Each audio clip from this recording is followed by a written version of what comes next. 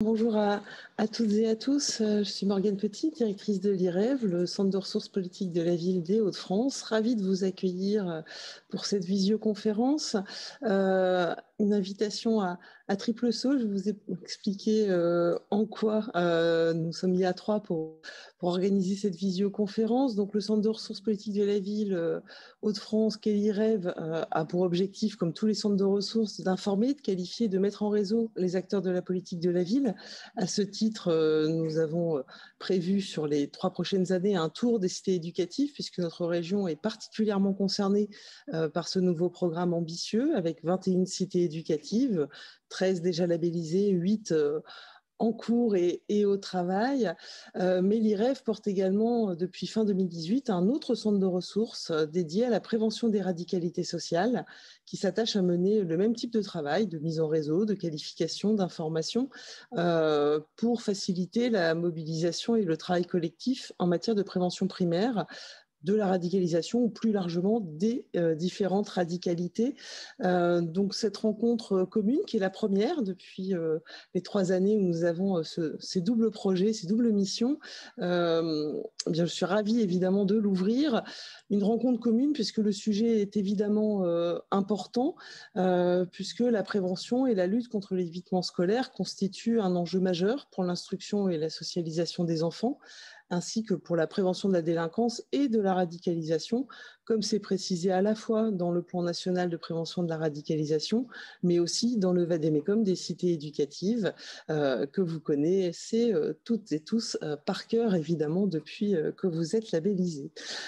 c'est en ce sens que dès décembre 2018, dans Civil du Nord, Lille, Roubaix, Tourcoing, Maubeuge, Denain, Valenciennes-Anzin, le préfet délégué pour l'égalité des chances a mis en place des formations restreintes appelées cellules de prévention de l'évitement scolaire, dont l'objectif est de croiser l'ensemble des informations disponibles de manière à la fois à identifier les élèves inscrits comme décrits pardon, comme invisibles en situation d'évitement scolaire, de vérifier s'ils relèvent ou non d'une alerte au sens du code de l'éducation, mais aussi d'engager le cas échéant des actions que ce soit des actions de médiation, mais aussi de contrôle, euh, y compris euh, des actions concertées en matière judiciaire, afin d'accompagner euh, ce public mineur et leurs familles telles qu'identifiées communément. Le préfet des Hauts-de-France, Michel Lalande, a souhaité que l'installation de cette cellule de prévention et d'évitement scolaire devienne un critère d'éligibilité aux cités éducatives en région, mais l'ensemble des territoires concernés sont de fait également vivement incités à organiser une telle instance de coordination, qu'elle prenne cette appellation euh, ou non. Donc au-delà de notre territoire des Hauts-de-France, euh, nous avons souhaité, euh, en collaboration avec le réseau national des centres de ressources politiques de la ville, que je salue, pouvoir ouvrir cette visioconférence à l'ensemble des cités éducatives de France. et nous espérons évidemment que ce retour d'expérience que nous présentons aujourd'hui saura vous convaincre de son utilité pour détecter et accompagner au mieux les enfants en situation d'évitement et permettre aux cités éducatives d'atteindre l'objectif de toucher l'ensemble des enfants des territoires concernés, y compris les plus éloignés du système qui sont parfois, comme on dit souvent, sortis des radars. Je tiens à remercier euh, l'équipe de l'IREV et du CRPRS, donc Meïta Giraldi euh, qui est avec moi, qui prendra la suite euh, juste après, mais Francesca Duhamel qui est également à mes côtés pour avoir organisé ce temps. Remercier également euh, le réseau national des centres de ressources politiques de la ville qui nous a particulièrement appuyés à la fois dans la préparation de cette rencontre, mais aussi dans votre mobilisation et qui euh, animera euh, pour deux représentantes le chat cet après-midi. Donc merci à Marjorie Fromentin et à Julie Simon de leur présence et de leur soutien. Et puis, euh, bien sans plus tarder, euh, nous allons pouvoir euh, démarrer. Donc, avec un programme, vous l'avez vu, organisé en deux séquences. La première rassemblera autour de la préfecture du Nord, qui est à l'initiative de la mise en place de ces cellules, l'éducation nationale, mais également représentant de la justice, de la CAF et du département du Nord. et cette première séquence nous permettra de revenir sur les constats initiaux à l'origine des cellules d'évitement scolaire, quels étaient les éléments de cadrage, quelles étaient les intentions, les objectifs visés et comment concrètement cela a pu se mettre en place en interinstitutionnel. Puis nous aurons une seconde séquence euh, s'appuyant sur le retour d'expérience de deux cités éducatives, de Lille et de Roubaix, que je remercie également pour leur présence, avec des partenaires locaux, ce qui nous permettra de rendre compte aussi des, concrètement de la mise en œuvre des liens entre ces cellules de prévention de l'évitement scolaire et les cités éducatives, et puis euh, sans doute d'esquisser ensemble de premiers enseignements à des fins d'essaimage. Je vous remercie encore toutes et tous de votre mobilisation et je cède la parole à Maïta Giraldi. Bien, bonjour à tous, euh, ravi, de vous, euh, de vous accueillir. Euh, peut-être vous d'abord vous dire que lorsque vous êtes inscrit, vous avez eu la possibilité en fait de nous envoyer des questions en amont de la, de la rencontre. On vous a demandé si vous aviez déjà participé à une cellule d'évitement et, où est-ce que vous situiez la plus-value euh, de ces espaces interpartenariales et aussi les difficultés que vous, que vous rencontrez. Sur les questionnements qui nous sont euh, remontés, il y a des choses qui tournent beaucoup autour de l'articulation avec l'existant. Euh, de la mise en relation après avec les, jeunes et, euh, et, leurs familles, et aussi euh, des, questions qui relèvent plus de la coordination entre professionnels autour de l'échange d'informations et du croisement des fichiers. Ça, c'est des grandes tendances de questionnement qui nous sont remontées. Vous avez le chat qui est à votre, à votre disposition, et après chacune des interventions croisées, donc la première, la deuxième, il y aura un temps où on fera remonter les questions via Julie et Marjorie soit que vous nous avez posté en amont, euh, soit que vous mettez euh, à l'instant T dans le, chat. On va vraiment essayer au long des deux heures et demie de pouvoir donner des éléments de réponse à, toutes les questions que vous formulerez euh, aujourd'hui, vous nous avez fait parvenir par ailleurs. Sur le premier temps de, table ronde, on s'est fixé avec les intervenants les, objectifs suivants. Déjà de cerner l'objet des cellules de prévention et d'évitement scolaire, son fonctionnement, sa mise en œuvre et les résultats, euh, les, résultats qui peuvent, être, euh, qui peuvent être observés. Et après, on leur a demandé aussi à chacun, dans leur prise de parole, de pouvoir euh, cerner aussi les logiques et les rôles d'intervention de leur institution. Donc, en quoi leur institution sont partie prenante, quelles sont les caractéristiques, caractéristiques des, des, publics. Et puis, il y aura un temps d'une quinzaine de minutes où vous pourrez les interpeller, où on fera remonter vos, vos questions. Et bien, sans plus attendre, donc je vais introduire nos différents intervenants. Donc, nous serons cet après-midi en compagnie de Béranger Basseur, chargé de mission prévention de la délinquance et des radicalités à la préfecture du Nord, qui introduira cette euh, table ronde, d'Anaïs Vulbrecht, qui est chargée de mission consacrée à l'évitement scolaire à l'éducation nationale auprès de la DAZEN, euh, Valérie Sago, qui est sous-directrice des relations institutionnelles et partenariales à la CAF du Nord, Arnaud Chartrel, qui n'est pas encore connecté, mais qui va bientôt nous rejoindre, assistant spécialisé en matière de lutte contre la radicalisation au parquet général à la Cour d'appel de, Douai. Et nous rejoint également Émilie Kanda, chargée de mission prévention de la radicalisation au Conseil départemental euh, du Nord. Euh, donc, je pense que Béranger doit être, euh, voilà, doit être avec nous, Béranger Basseur. Et donc, on lui proposait pour ouvrir cette table ronde qui puisse déjà contextualiser euh, la mise en place de ces cellules de prévention d'évitement scolaire mises en œuvre en 2018. La question qu'on lui a posée, c'était un petit peu de revenir sur quelle était l'intention et les objectifs visés. Et au fur et à mesure des prises de parole, on pourra voir ensemble éventuellement les, les évolutions, les ajustements qu'il y a pu avoir. Euh, Béranger Basseur, si vous m'entendez, vous pouvez prendre la parole. Oui, bonjour, je ne sais pas si vous m'entendez. Oui. Oui, bonjour à tous. Euh, oui, alors euh, bon, quelques éléments de contextualisation ont été aussi évoqués en introduction par par Morgane. Euh, je ne fais pas non plus très long, je sais qu'on est beaucoup d'intervenants. Euh, je pense qu'après, l'idée est peut-être plus de répondre aux questions. Il me semble que vous en aviez euh, quelques-unes à nous poser. Juste en tout cas dire voilà ce que, disait Morgane. Hein. en tout cas, le, point de départ, c'est que l'école est, pour nous un miroir grossissant d'un certain nombre de voilà, d'un certain nombre de, réalités. Et euh, sur la question de, l'évitement scolaire, on, a bien pu euh, mesurer cette réalité sur le département du Nord sans, vraiment pouvoir quantifier, mais en tout cas, ça, ça, a montré la nécessité de pouvoir se poser davantage sur la question pour mieux la comprendre mais aussi mieux la mesurer et surtout mieux agir en conséquence sur des situations réelles d'évitement scolaire. Donc l'idée était de s'appuyer sur le Code de l'éducation nationale qui, qui, qui, permet, balise déjà un certain nombre de, d'obligations à la fois à l'égard de, des communes, mais aussi l'éducation nationale et puis la préfecture sur, sur notamment la liste des enfants qui sont scolarisables en, début d'année en début d'année scolaire. Donc l'idée était de, pouvoir mettre en fait autour de la table les communes concernées, l'éducation nationale, la préfecture comme étant les, trois copilotes en fait de, l'instance et puis, euh, en plus d'avoir également d'autres partenaires tels que euh, le département, euh, mais aussi bien sûr la CAF qui fournit un fichier en début d'année scolaire. On pourra y revenir, hein, mais je pense que Mme Sago l'expliquera en détail. Et puis aussi la justice, parce qu'un certain nombre de situations peuvent conduire à un signalement auprès du procureur. Donc l'idée étant de partir de l'information initiale euh, jusqu'à un éventuel signalement et d'avoir du coup une visibilité du début à la fin de chacune des, situations.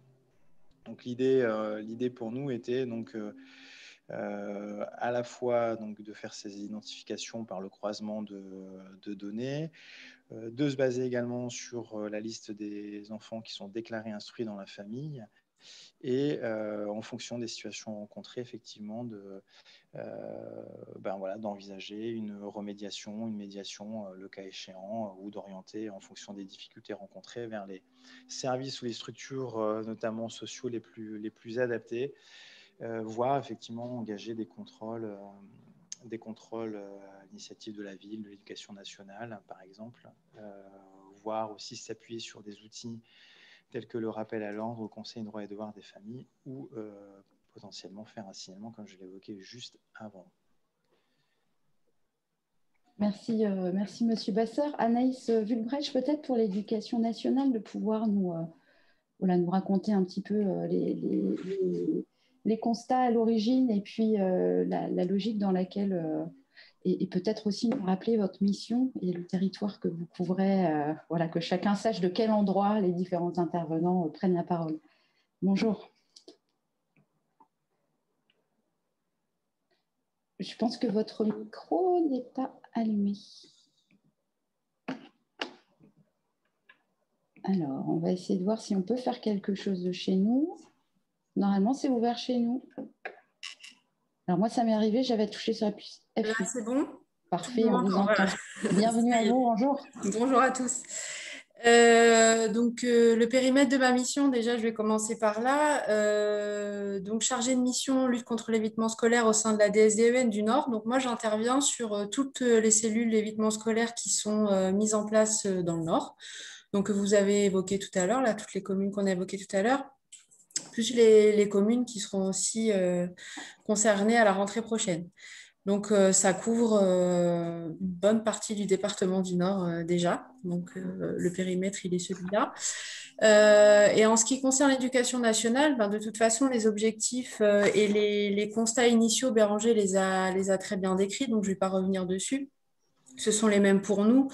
on a peut-être pu aussi constater qu'un, comment dire, qu'une meilleure couverture de, des contrôles, comme le disait tout à l'heure Béranger, dans le cadre de l'instruction dans la famille, euh, pourrait être bénéfique euh, dans ce cadre-là. Donc, les cellules évitement scolaire ont aussi apporté ça.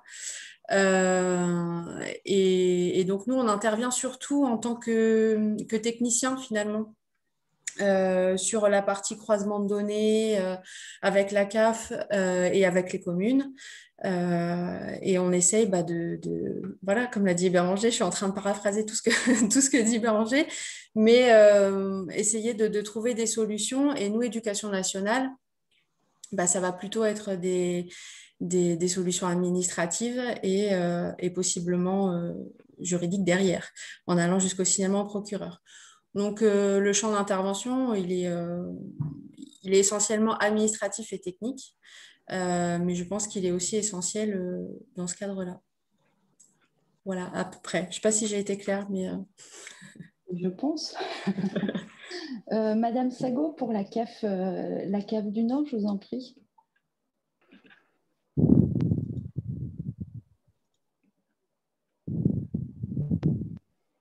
Vous m'entendez? C'est parfait. Je ne vous entends pas. Ah, moi, je débute, je ne vous entends plus. Je vais débuter mon intervention. Donc, effectivement, donc la CAF du Nord intervient euh, sur tout le département hein, depuis dix ans. Hein. on a cette compétence départementale. Euh, on, sert 623 000 allocataires. Euh, quelles sont les motivations qui ont conduit la CAF du Nord à s'inscrire dans, dans ce dispositif? Elles sont au, moins deux. J'en retiendrai deux. D'abord, on a l'obligation de répondre aux communes qui nous demande de fournir euh, les listes euh, d'enfants euh, soumis à l'obligation scolaire. donc, dans ce cadre de cette obligation, il paraissait intéressant de s'inscrire dans, ce dispositif pour fluidifier la, procédure de transmission de, telles données. et la deuxième motivation consiste à surtout voilà, travailler sur la protection de l'enfance. le dispositif, comme il a été dit, vise aussi la prévention de la radicalisation et on est aussi fort investi dans, cette démarche. Ça, peut viser aussi l'accès aux droits. Hein. On peut aussi régulariser des droits, ouvrir des droits dans le cadre de, notre participation à, ce dispositif. Donc voilà, au moins deux, motivations qui, qui, ont fait qu'on s'est inscrit dans cette démarche. la CAF a deux missions dans ce dispositif. Euh, la première consiste à donc transmettre euh, les données aux communes qui demandent donc euh, transmettre la liste des, enfants soumis à l'obligation scolaire. On procède par convention.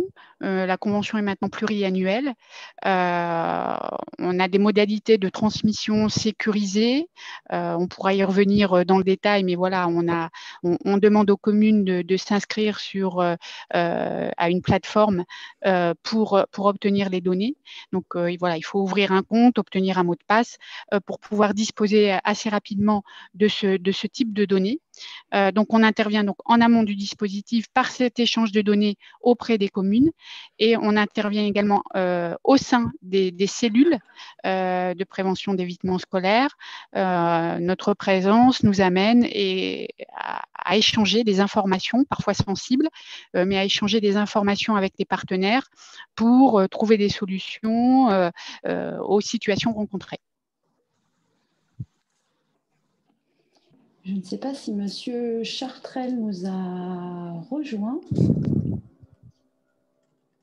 Je vais laisser la, parole à Émilie Kanda, chargée de mission euh, de la radicalisation au Conseil départemental du Nord, qui a euh, rejoint ce dispositif dans un deuxième temps. Mais je vais vous laisser vous expliquer tout ça. Bonjour, donc moi je suis Émilie Canda, je suis chargée de mission prévention de la radicalisation au département du Nord.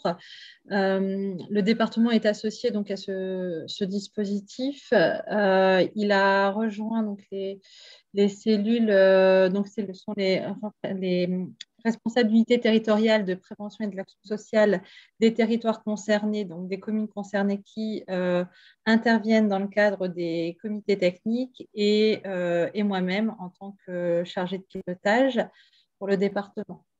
Le département a toute vocation à être dans ces cellules. le, département du Nord a une connaissance du territoire euh, et du réseau partenaire et euh, également à, dans ses missions notamment la protection de la France et souhaite agir en prévention avant de pouvoir, afin de pouvoir donc, aider les familles et éviter toute judiciarisation.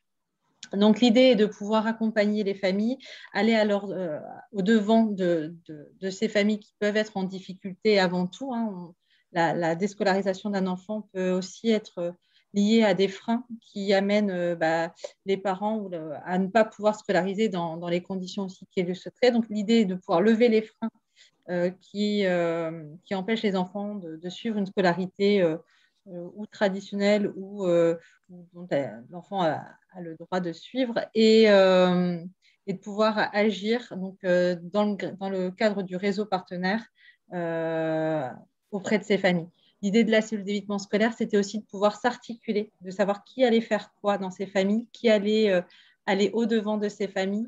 Et euh, alors, je laisserai parce que dans, la dans, le deuxième temps, il y aura une intervention qui va plus expliquer ça, mais c'est aussi de pouvoir, au niveau du département, faire le lien donc, avec les services internes de l'UTPAS, des unités territoriales, c'est-à-dire les assistants sociales de secteur, les collègues de la PMI euh, et euh, de pouvoir, euh, donc, qui connaissent bien leur territoire, qui connaissent aussi pour certains les familles qui sont concernées par les cellules de prévention de l'évitement scolaire et également faire le lien avec les partenaires locaux qui peuvent être amenés à rencontrer les familles que nous, nous ne rencontrons pas notamment les clubs de prévention ou les maisons de quartier qui, dans d'autres cas, peuvent rencontrer ces familles. Donc voilà, je... vraiment, c'est pouvoir refaire un repérage des situations et éviter d'avoir des mineurs qui passent tous les radars et qui se retrouveraient en grande difficulté et pour lesquels voilà, nous souhaitons pouvoir leur apporter des, réponses et, et, un accompagnement. Je sais pas, je, Merci beaucoup.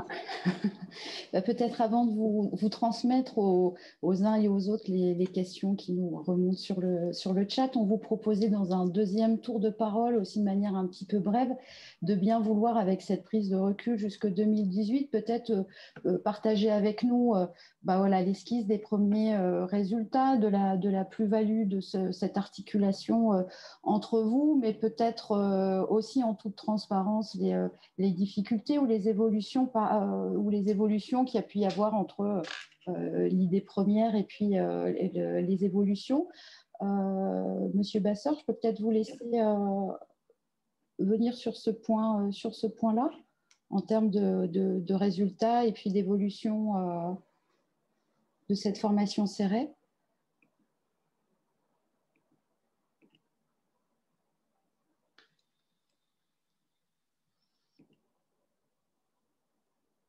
Alors, je n'entends rien de mon côté.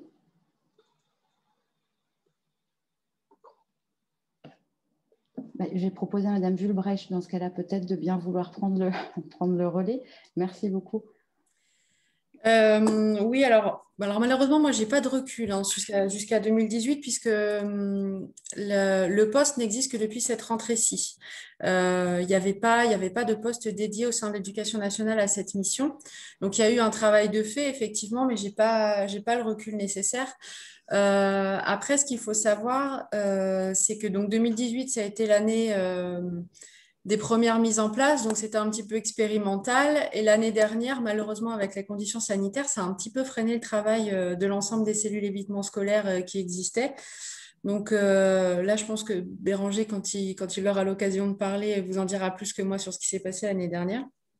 En tout cas, sur ce qui concerne cette année, on a, on a quand même euh, certains résultats, de bons résultats euh, qui, sont, satisfaisants, mais qui ne sont pas suffisamment satisfaisants à notre goût, euh, puisque on peut obtenir, et ça, grâce au travail des communes, et notamment à la médiation, les services de médiation qui sont mis en place au sein des, des municipalités, et qui vont au contact des familles, on arrive à obtenir un retour à l'école euh, des enfants ou de maintenir le lien aussi, euh, qui est essentiel, euh, des parents avec l'école. Donc, donc là-dessus, on, on, arrive quand même à avoir certains bons résultats. Lille et Roubaix, je pense, ne nous contrediront pas trop sur le sujet. là, là où on rencontre des difficultés, et là je m'adresserai à tous mes collègues de l'éducation nationale qui sont présents ici, et c'est sur le, croisement des fichiers CAF. Euh, puisque nous, on fonctionne comme ça. La CAF transmet son, fichier de, tous les enfants scolarisables à chaque euh, commune euh, inscrite dans le dispositif. Les communes commencent à faire un petit premier croisement, un petit entre gros gros guillemets, puisque c'est un travail assez considérable, pour repérer déjà tous les enfants pour lesquels ils arrivent à trouver une trace de scolarisation puisqu'il faut savoir que les communes ont accès euh, aux effectifs de leur unique commune. Donc, euh, si je prends l'exemple de Lille ou Roubaix, eh bien, un enfant lillois peut très bien être scolarisé à Roubaix et un roubaisien peut être très bien scolarisé à Lille. Et euh, l'échange entre les communes, ce n'est pas, pas toujours évident, en temps réel en tout cas, ce n'est pas toujours évident.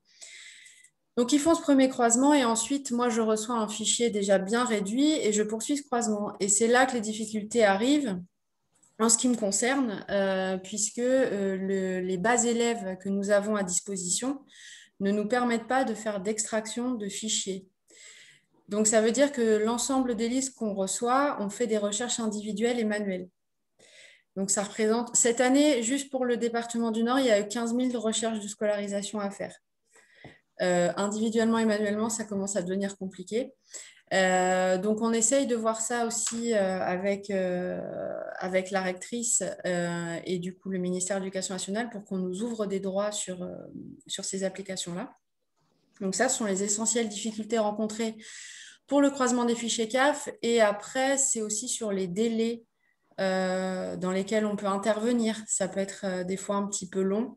Euh, entre les décisions qu'on peut, qu'on peut prendre euh, en cellule et, euh, et puis ce qu'on peut faire aussi derrière, parce qu'il y a aussi tous les, délais réglementaires, des fois, qui ne nous permettent pas d'agir aussi vite qu'on le voudrait.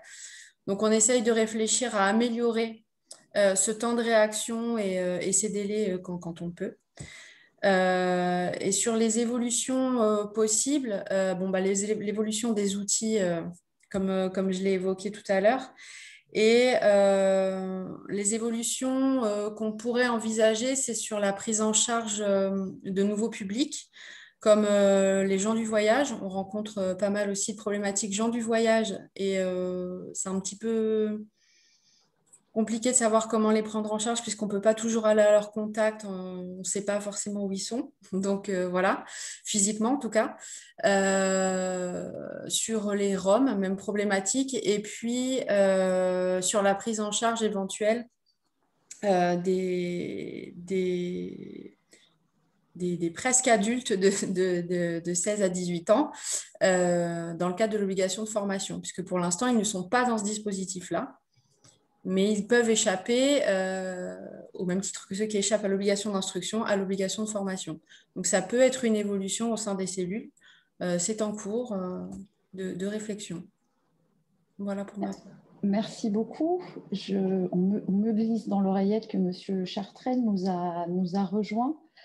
Euh, si jamais on a passé le premier tour de parole, peut-être pour vous, vous présenter, expliquer à, à, quel endroit vous participez euh, dans, ces, euh, dans cette formation resserrée autour du, de l'évitement scolaire.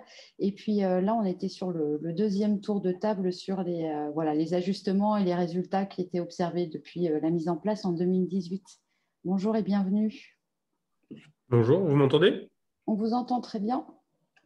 Alors, c'est parfait. Désolé pour le retard, hein. je suis vraiment désolé. Euh, donc, me concernant, Arnaud Chartraille, pour l'appel de Loué, donc euh, moi, ma mission euh, principale est de travailler sur tout ce qui est, toutes les situations, le suivi de toutes les situations liées à la radicalisation ou des situations en voie de radicalisation avec les différents tribunaux du ressort de la Cour d'appel. Pour faire simple, initialement, j'ai participé aux cellules d'évitement scolaire qui sont une émanation euh, de, de la CEPRAF quand même au tout départ. En tout cas, c'était un peu l'idée était aussi de faire un diagnostic un petit peu sur éventuellement dans le département du Nord, sur certaines problématiques liées à la déscolarisation ou tout au moins même à la non-inscription euh, d'enfants euh, dans, le, dans le cycle scolaire qui pourrait être lié à un repli, un repli à, un radicalisme religieux avéré ou éventuellement à une scolarité à domicile. Euh, très vite, l'objectif a été de dire de toute manière, quoi qu'il arrive, le but étant de, d'identifier chaque situation. Bien sûr, le but, ce n'était pas de s'attarder uniquement sur celle avec un replay religieux, bien évidemment. Donc, euh, ça a été ouvert, à, bien sûr, à chaque situation, en fait, toute situation qui pouvait être identifiée comme telle.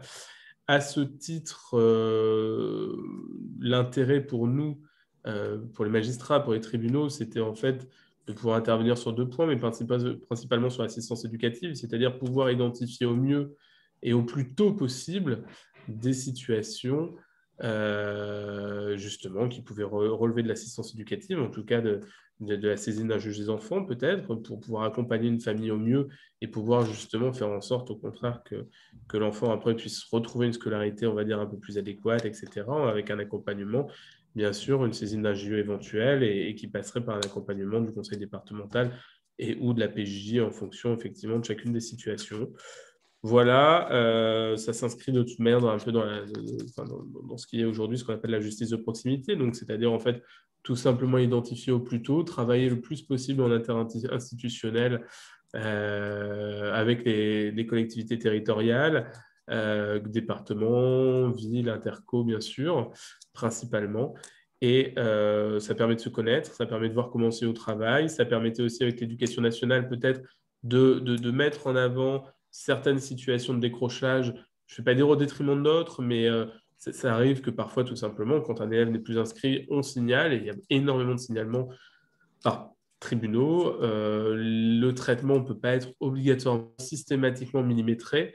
Donc là, l'idée, c'était bien de pouvoir identifier, certaines situations un peu plus problématiques, pouvoir le mentionner dans le signalement, savoir véritablement bien le travailler, et ensuite pouvoir justement apporter la réponse la plus adaptée possible.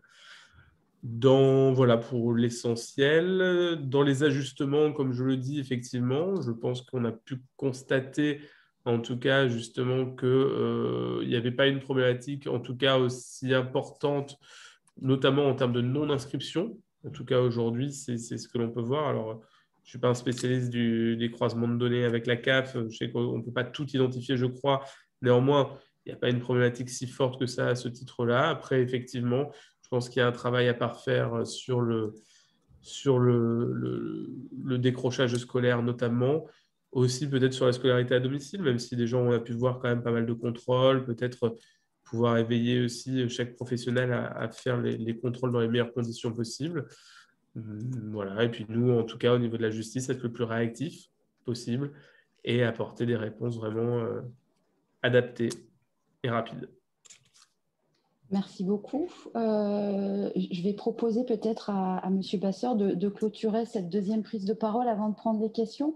Et j'invite euh, Mme Sago peut-être à voilà, nous faire un, retour sur les enseignements et puis les, euh, premiers résultats ou les, ajustements identifiés du côté de, la CAF. Et puis après, j'inviterai Mme Kanda à faire de, même et on, on, viendra à vos premières questions-réponses. Questions, Mme Sago? Oui, euh, en termes de, résultats, il faut savoir que 42% euh, des communes euh, du département du Nord ont conventionné avec la CAF pour obtenir via donc une plateforme d'échange de données ces listes d'enfants soumis à l'obligation scolaire entre 3 et 16 ans. C'est une convention pluriannuelle voilà, donc on a, on a progressé euh, depuis 2018-2019, euh, euh, notamment dans le processus d'échange, puisqu'on voilà, on permet un, échange sécurisé avec les communes. il suffit de s'inscrire donc sur une plateforme qui s'appelle l'InShare, de créer un compte, d'obtenir un mot de passe et de pouvoir ensuite télécharger entre octobre et décembre de chaque année cette, cette, liste, cette liste de données. Donc, au fil des années, euh, on a des renouvellements de conventions et des nouvelles demandes de, conventions. Bien sûr, on arrive à mesurer le travail réalisé par les communes, surtout dans le cadre des cellules d'évitement, là où il n'y a pas de là a de cellules. Eh bien, on, pas à mesurer l'impact du travail réalisé par par les communes euh, à partir de ces listes. On sait que cela les aide à préparer les rentrées scolaires dans, dans, leur commune. Euh, cela les aide à travailler dans les dans les cellules. Mais voilà, on n'a pas suffisamment de, bilan chiffré euh, à ce sujet, en tout cas euh, euh, pour les communes autres que pour celles qui ne font pas l'objet, voilà, pour lesquelles il n'y a pas de cellules d'évitement scolaire. c'est un point d'attention. Voilà, je pense que c'est un sujet sur lequel il faudrait travailler. ensuite, dans le cadre des cellules, eh bien, elle mobilise nos travailleurs sociaux qui sont, amenés euh, à faire un certain nombre de vérifications pour transmettre des données, des informations sur des situations familiales. Euh, voilà. Euh, à ce jour, le nombre de cellules nous permet d'agir assez rapidement. Il faudrait là aussi qu'on réfléchisse à une organisation optimale si le nombre de cellules venait à augmenter. Merci beaucoup. Euh, peut-être Madame Kanda pour le département du Nord. Oui, bah, je pense qu'il y a beaucoup de choses qui ont été dites. et je vais laisser aussi Béranger évoquer de son côté, mais très concrètement, moi, ça fait un peu plus d'un an maintenant que je suis sur les cellules d'évitement scolaire. Euh, je, note quand même qu'il y a une évolution et surtout une vraie volonté euh, de l'ensemble des institutions de pouvoir continuer de s'améliorer et savoir comment intervenir de sorte à être le plus euh, performant dans la réactivité qu'ils puissent proposer et, également dans, dans la, recherche innovante, j'ai envie de dire, de, et de, solutions. Euh, il y a toujours l'idée de pouvoir apporter des solutions individualisées aux familles et donc d'aller à leur rencontre et donc de proposer des choses qui leur correspondent. Et, euh, il y a plein de travaux actuellement en cours pour pouvoir continuer d'améliorer euh, justement les réponses qui peuvent être proposées. En sachant que c'est vraiment un, une, la question, par exemple, de la réactivité a toujours été soulignée et euh, chaque institution fait en sorte de pouvoir euh, améliorer à l'interne le temps de réaction euh, quand il y a une demande ou une évaluation à faire et également les recherches et les personnes qui vont aller à la rencontre les contrôles. Alors, le département intervient après les contrôles quand il y a une instruction en famille, mais peut également intervenir quand dès le moment où on s'aperçoit qu'il y a une, demande, euh, le département peut intervenir pour savoir si oui ou non on connaît et aller à la rencontre. Et, euh, je pense que cette instance a, vraiment une volonté de, respecter à la fois la confidentialité des débats, donc le respect des personnes, et en même temps d'agir en prévention. Et je pense que c'est ça qui est une donnée importante. c'est vraiment la prévention pour ces enfants et on, bascule dans, auprès euh, des signalements parce qu'il y a, enfin, on en reparlera, mais euh, voilà, on, basculera dans les signalements ou dans les, dans les, informations préoccupantes que si on n'arrive pas en amont à aller à la rencontre de ces familles. Euh, voilà, il y a toute une procédure, mais je vais peut-être laisser Béranger en parler. Je pense que c'est le plus, voilà, c'est sa partie. Monsieur Basseur est-ce que vous voulez bien terminer ce, deuxième tour de parole, peut-être autour des, euh, résultats et puis des, euh, enseignements? Est-ce que vous m'entendez? On vous entend très bien. ça a coupé tout à l'heure, désolé. J'ai dû me reconnecter. Euh, alors, je fais, du coup, j'ai loupé un petit morceau, mais je voulais revenir en tout cas sur la question de la motivation, de la mise en place de cellules évitement scolaire. Arnaud évoquait tout à l'heure la, CEPRAF. Hein, pour ceux qui ne le sauraient pas, c'est la cellule de prévention de la radicalisation et d'accompagnement des familles, euh, donc qui, est complémentaire au suivi qu'on peut avoir dans les groupes d'évaluation départementales. Et effectivement, quand il fait référence à cette instance, c'est aussi parce que, euh, effectivement, je le disais, dans les constats qu'on a pu avoir euh, sur, voilà, sur cette réalité, sur l'évitement scolaire, les motifs sont, sont très variés. Euh, ça peut être pour des raisons de santé, comme ça peut être aussi sur, pour des raisons de situation euh, de, handicap, des questions d'harcèlement, mais aussi euh, des choix idéologiques, pas nécessairement religieux, ou justement des motivations religieuses, voire un rejet de, l'institution dans son sens très large. Les raisons donc, sont, très variées. C'est très difficile de connaître la réalité des, motivations qui conduisent, par exemple, à l'instruction dans la famille ou à l'évitement scolaire. Et d'ailleurs, je voudrais juste aussi revenir sur, en tout cas, le contour de ce qu'on entend par évitement scolaire euh, sur le département du Nord. Mais euh, juste préciser que voilà, nous, on n'a pas de considération sur les, les situations qu'on recherche. On cherche on essaie d'identifier toute forme d'évitement scolaire, quelle que soit la raison. Euh, quand on est sur l'instruction dans la famille, euh, euh, dans le cadre du contrôle réalisé par la ville, les parents déclarent une des raisons, une motivation, mais c'est du déclaratif. Rien ne dit que la, raison évoquée est effectivement la bonne et, on n'est pas non plus dans la supposition de, supposition, pardon, de, de, raison. Donc voilà, on prend, on prend la question dans son sens très large et ça fait aussi à ce que disait euh, euh, tout à l'heure Anaïs en parlant de différents publics, notamment la question Rome aussi, qui est assez essentielle sur le, sur le sujet. et alors, quand on parle d'évitement scolaire, ce qu'on entend, c'est assez clair dans ce qu'on vient de dire, c'est ceux, qui seraient en, défaut complet d'instruction, que ce soit dans le cadre d'une école privée ou publique ou déclaré instruit dans la famille.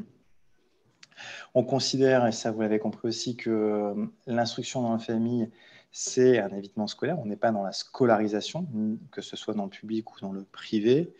Donc on s'attache à rechercher euh, toutes ces situations-là et on, essaie aussi, euh, parallèlement à d'autres instances, à regarder les situations qui pourraient relever d'écoles de fait, une association qui réunirait par exemple plusieurs familles euh, qui sont, dont les enfants sont déclarés instruits dans la famille. Et le Code de l'éducation euh, considère que dans ce cas-là, on est dans une école de fait, ce qui est complètement euh, illégal. Donc on essaie de travailler aussi sur, ces questions-là.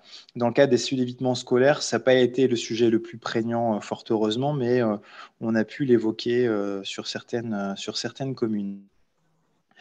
Sur la question des partenaires, tout à l'heure, j'ai cité les, six partenaires et, on les a entendus aussi prendre la parole juste avant, euh, dire qu'il y a aussi, euh, au-delà de la présence en séance, ces six partenaires sont présents, euh, sont membres donc, de la cellule évitement scolaire, mais on, on s'appuie aussi sur d'autres partenaires. Je pense par exemple aux médiateurs sociaux, à la prévention spécialisée ou aux polices municipales ou nationales, donc ils ne sont pas membres, mais sur lesquels on peut s'appuyer quand on parle de, médiation, remédiation, en fonction de, voilà, de, de, euh, la réceptivité ou non euh, des familles à entrer en dialogue avec nous. Euh, on, par l'échange partenarial, on essaie de, de, voir quel est le partenaire le plus adapté pour, pour tout simplement les frapper à la porte du domicile pour avoir cet échange avec, avec les familles et clarifier euh, la situation. Et ça, ça se fait de manière parallèle aux démarches administratives, euh, voire judiciaires qui peuvent être engagées, qui ont été présentées tout à l'heure à la fois par Arnaud, Émilie et puis Anaïs. Voilà ce que je voulais aussi dire là-dessus. Et donc, effectivement, les échanges qu'on a qui nous permettent à un moment de solliciter tel ou tel partenaire, euh, ce sont des échanges évidemment sécurisés, ça on l'a bien compris. Il y a une charte déontologique qui permet aussi de, cadrer un peu le contenu de nos échanges, euh, des échanges qui se basent uniquement sur des informations utiles à la compréhension de la, situation et surtout euh, utiles à, la définition d'objectifs sur, sur chacune des situations. On n'est pas là pour faire un accompagnement dans, la durée. On est là pour identifier les situations, comprendre ce qui se passe et ensuite reconnecter avec euh, les dispositifs droit commun ou spécifiques pour répondre à, la situation qui peuvent relever aussi de difficultés, parfois tout simplement, enfin tout simplement, de difficultés sociales, par exemple. Et euh, voilà, on a des dispositifs tout à fait adaptés. À ce moment-là, on sort, on sort les situations puisque ça nous a permis de, faire le point, de reconnecter avec. Euh, avec un potentiel accompagnement de un ou plusieurs partenaires. Sur la question des, chiffres, euh, là, ça envoie. Enfin, on a une difficulté euh, à cette question. On a, une difficulté euh, pour y répondre, tout simplement parce que le croisement de données, c'est assez considérable. Je pense que c'était assez clair aussi dans les propos d'Anaïs.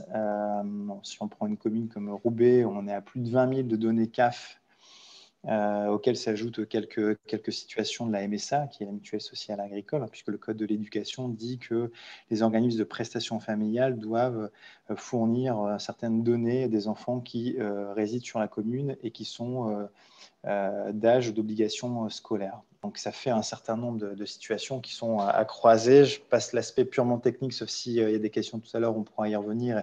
Je pense que les communes sont beaucoup plus à même de répondre à ces questions-là mais juste dire que euh, il y a peu de communes euh, où on a réussi à aller jusqu'au bout de l'exercice. On y arrive, euh, voilà, consacrant un temps certain sur les communes où on a un volume moins considérable.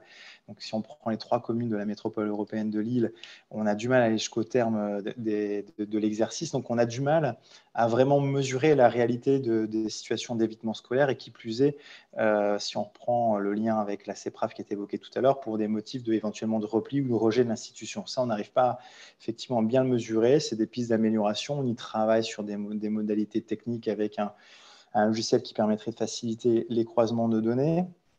Mais en tout cas, on a quand même quelques résultats euh, à faire valoir. Alors, c'est vrai que à juste titre, certains considèrent que c'est des chiffres assez minces au regard du nombre d'élèves qui sont en obligation scolaire à l'échelle du département. C'est une réalité. Alors notre, notre objectif, c'est pas c'est pas de faire du chiffre hein, quand on est sur du nominatif, c'est être sur du, qualitatif. Et euh, même si on n'est que sur quelques situations, il est important en tout cas de, consacrer ce temps partenarial pour, euh, pour essayer de mieux comprendre les situations, en tout cas les raccrocher à une certaine, une certaine réalité. Ce qu'on a réussi quand même facilement à mesurer, c'est, euh, en tout cas plus facilement, c'est le suivi d'instruction dans la famille, puisque là, on, part des déclarations reçues à la fois côté éducation nationale, mais aussi côté mairie. Et donc, on voit bien, euh, euh, on, a vu deux choses. Euh, la première, c'est que toutes les communes n'avaient pas encore forcément rempli la question de l'obligation des contrôles qui appartiennent, puisqu'il y a le contrôle de la ville qui se fait un an sur deux, qui permet de mesurer les conditions matérielles dans lesquelles se réalise l'instruction dans la famille. Puis il y a le contrôle pédagogique de l'éducation nationale qui est annuel. Et euh, ces deux contrôles sont très complémentaires l'un à l'autre, ont des finalités euh, différentes, et on s'est rendu compte que toutes les communes euh, pas forcément ne consacraient pas forcément le temps à ces contrôles, et ça a permis aussi donc de remettre ce sujet-là dans les priorités dans les priorités municipales, qui se sont du coup réorganisées, réadaptées pour permettre en fait d'avoir cette vision partagée avec l'éducation nationale et de réaliser ces contrôles. Et donc, on a aussi vu qu'il y avait des déclarations qui allaient que côté mairie ou que côté éducation nationale. Donc, ça a permis aussi de, partager les informations, d'avoir les listes les plus exhaustives des déclarations et donc de, faire euh, ce qui était nécessaire euh, en termes de, contrôle côté ville et éducation euh, nationale. Alors du coup, quand on essaie de prendre un peu de recul sur les chiffres, et j'en terminerai juste là-dessus, on est en train, on a échangé avec Anaïs la semaine dernière, on est en train d'essayer de faire le bilan de l'année scolaire qui vient de se terminer. Donc, indépendamment de l'activité de cette année scolaire qui était une activité pleine, puisque l'année dernière, euh, les cellules scolaires ont été très largement impactées euh, en raison de la, situation sanitaire et l'année scolaire encore précédente, on était juste dans les phases d'installation. Donc, on n'avait pas, pas, encore eu vraiment d'année euh, scolaire pleine d'activité, ce qui vient d'être le cas. Mais déjà, sur les deux premières années, malgré voilà, le contexte que je viens de préciser, on retire, nous, à peu près 200 mises en demeure euh, euh, de déclarations de, scolarisation qui ont été adressées par l'éducation nationale auprès des communes. Quand je dis 200, c'est 200 plus ou moins euh, sérieuses sur lesquelles on avait en tout cas besoin vraiment de clarifier, puisqu'après, il y a eu beaucoup plus de mises en demeure qui ont été envoyées liées au croisement de données. Mais on a eu aussi, on a noté une vingtaine de rescolarisations, notamment suite à des avis euh, défavorables à l'issue de contrôles instruction dans la famille, puisque ça nous permet de prioriser sur certaines situations. Et là, ça peut faire le lien, comme le disait, euh, Arnaud, en fait, faire le lien avec la CEPRAF, où on a des questions, des interrogations. Donc, ça, permet, il y, a, effectivement une passerelle entre ces deux instances. Et puis, on a aussi fait une bonne vingtaine de signalements auprès du procureur de, la République. Et euh, comme le, disait aussi Madame Sago, il y a une quinzaine de situations qui ont fait euh, l'objet d'un retour d'informations précis auprès de la CAF, où on a pu constater euh, au terme en fait de, donc des, échanges que voilà il y avait une déclaration qui était potentiellement plus du tout d'actualité qui, nécessiterait une régularisation donc un pré-charge à, à l'éducation, euh, pardon, à la CAF en fait d'entreprendre euh, les vérifications utiles parce que parfois il y a des départs à l'étranger euh, qui n'ont pas été déclarés. Voilà, donc des chiffres qui ne sont pas forcément euh, voilà, si conséquent que ça. Encore, je pense que c'est relatif, ça dépend où on se place. Et, mais surtout, surtout aussi, c'est un phénomène, euh, certes, qui est, on parle de petits chiffres, notamment comme l'instruction dans la famille, euh, mais qui est quand même en croissance exponentielle, sans vouloir tirer un tableau noir. Il faut quand même avoir cette réalité. Hein. je ne trahis pas un secret en disant, voilà, sur euh, en trois années scolaires, sur le département du Nord, l'instruction dans la famille été multipliée par trois, en fait. Donc, on voit bien qu'il y a euh, une, augmentation très significative pour différentes raisons, d'ailleurs, de, ces situations. Voilà, désolé, j'ai été un peu plus long que la première intervention, mais je voulais quand même reposer un peu ces points-là. Merci beaucoup. Mais je pense qu'il y a peut-être des éléments de réponse de ceux qui ont été amenés à, certaines questions dans, le chat. Je vais laisser euh, euh, Julie nous faire remonter euh, vos questions, peut-être plutôt sur tout ce qui est mise en œuvre, organisation, etc. Vu que la deuxième intervention croisée, là, on viendra sur, une fois qu'il y a ce croisement de fichiers, quel relais avec les familles et, avec le jeune. Julie, est-ce que tu as des questions pour nos intervenants? Oui, on a beaucoup de, questions. Euh, d'ailleurs, Marjorie, si j'en oubliais, euh, n'hésite pas euh, à, me, me, compléter. Alors, il y a plusieurs questions que j'ai pu voir. En fait, c'est surtout sur le positionnement en fait, de ces cellules de, prévention, que ce soit au niveau de qui pilote finalement la cellule de prévention et comment se, fait son, animation. Et puis finalement, les liens qui peuvent euh, euh, se nouer, que ce soit par exemple dans une logique de simplification avec le programme de réussite éducative, ou encore le lien avec les, les missions locales. et même finalement le, le, lien en fait comment ça se passe avec le pilotage de la cité éducative au, niveau euh, voilà, de, préciser un petit peu ce, positionnement euh, et pilotage euh, au niveau de l'animation de ces cellules de prévention. Peut-être sur le lien entre les cellules de prévention et cité éducative, ce sera l'objet notamment de l'intervention de, Roubaix. Donc voilà, ça pourrait être illustré par là, mais peut-être sur le pilotage et la, coordination, Monsieur Basseur, peut-être sur ce, point-là et et après, j'invite peut-être les différents intervenants à pouvoir venir sur le lien avec l'existant de ce qui concerne leur champ de compétences, peut-être. Euh, oui, sur le, sur le pilotage, en fait, on a des protocoles de fonctionnement euh, qui sont identiques les uns aux autres, mais qui sont signés à l'échelle municipale et qui euh, prévoient que l'on ait un copilotage, donc ville, préfecture et éducation nationale. Donc l'animation est partagée et partager de, aussi de cette façon-là.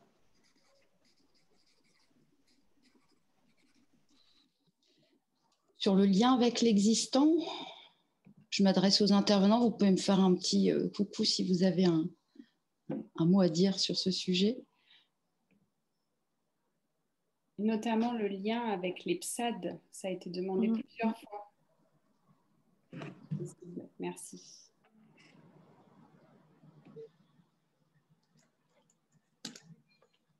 Je, vais juste prendre la parole. Alors, euh, pour les, jeunes qui ont 16-18 ans, c'est ce qu'avait expliqué Anaïs, c'est qu'aujourd'hui, on est confronté à ces questions-là. Euh, avant, il n'y avait pas d'obligation scolaire pour les, 16-18. Aujourd'hui, il y a cette obligation de formation. Euh, et donc, avec la plateforme des SAD qui permet aussi de, vérifier que ces jeunes ont accès à cette formation. Aujourd'hui, je pense que les liens sont faits euh, de façon, euh, euh, comment dire ça, au cas par cas, en fonction des situations qui nous arrivent, et notamment quand ces jeunes arrivent tout doucement vers l'âge de, 16 ans et pour lesquels on a des préoccupations.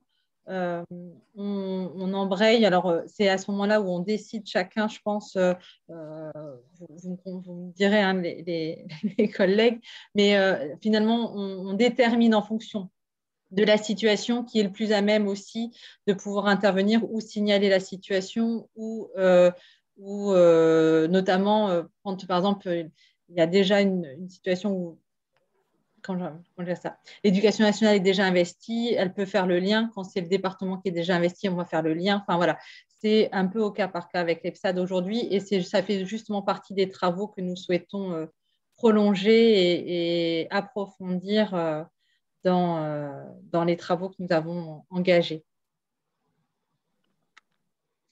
Est-ce qu'il y a d'autres éléments de réponse sur cette première euh, question, lien avec l'existant? Julie, peut-être si tu as d'autres... Euh, oui, alors on avait une question sur le nombre de, situations qui basculaient finalement en, information préoccupante ou en, en signalement judiciaire.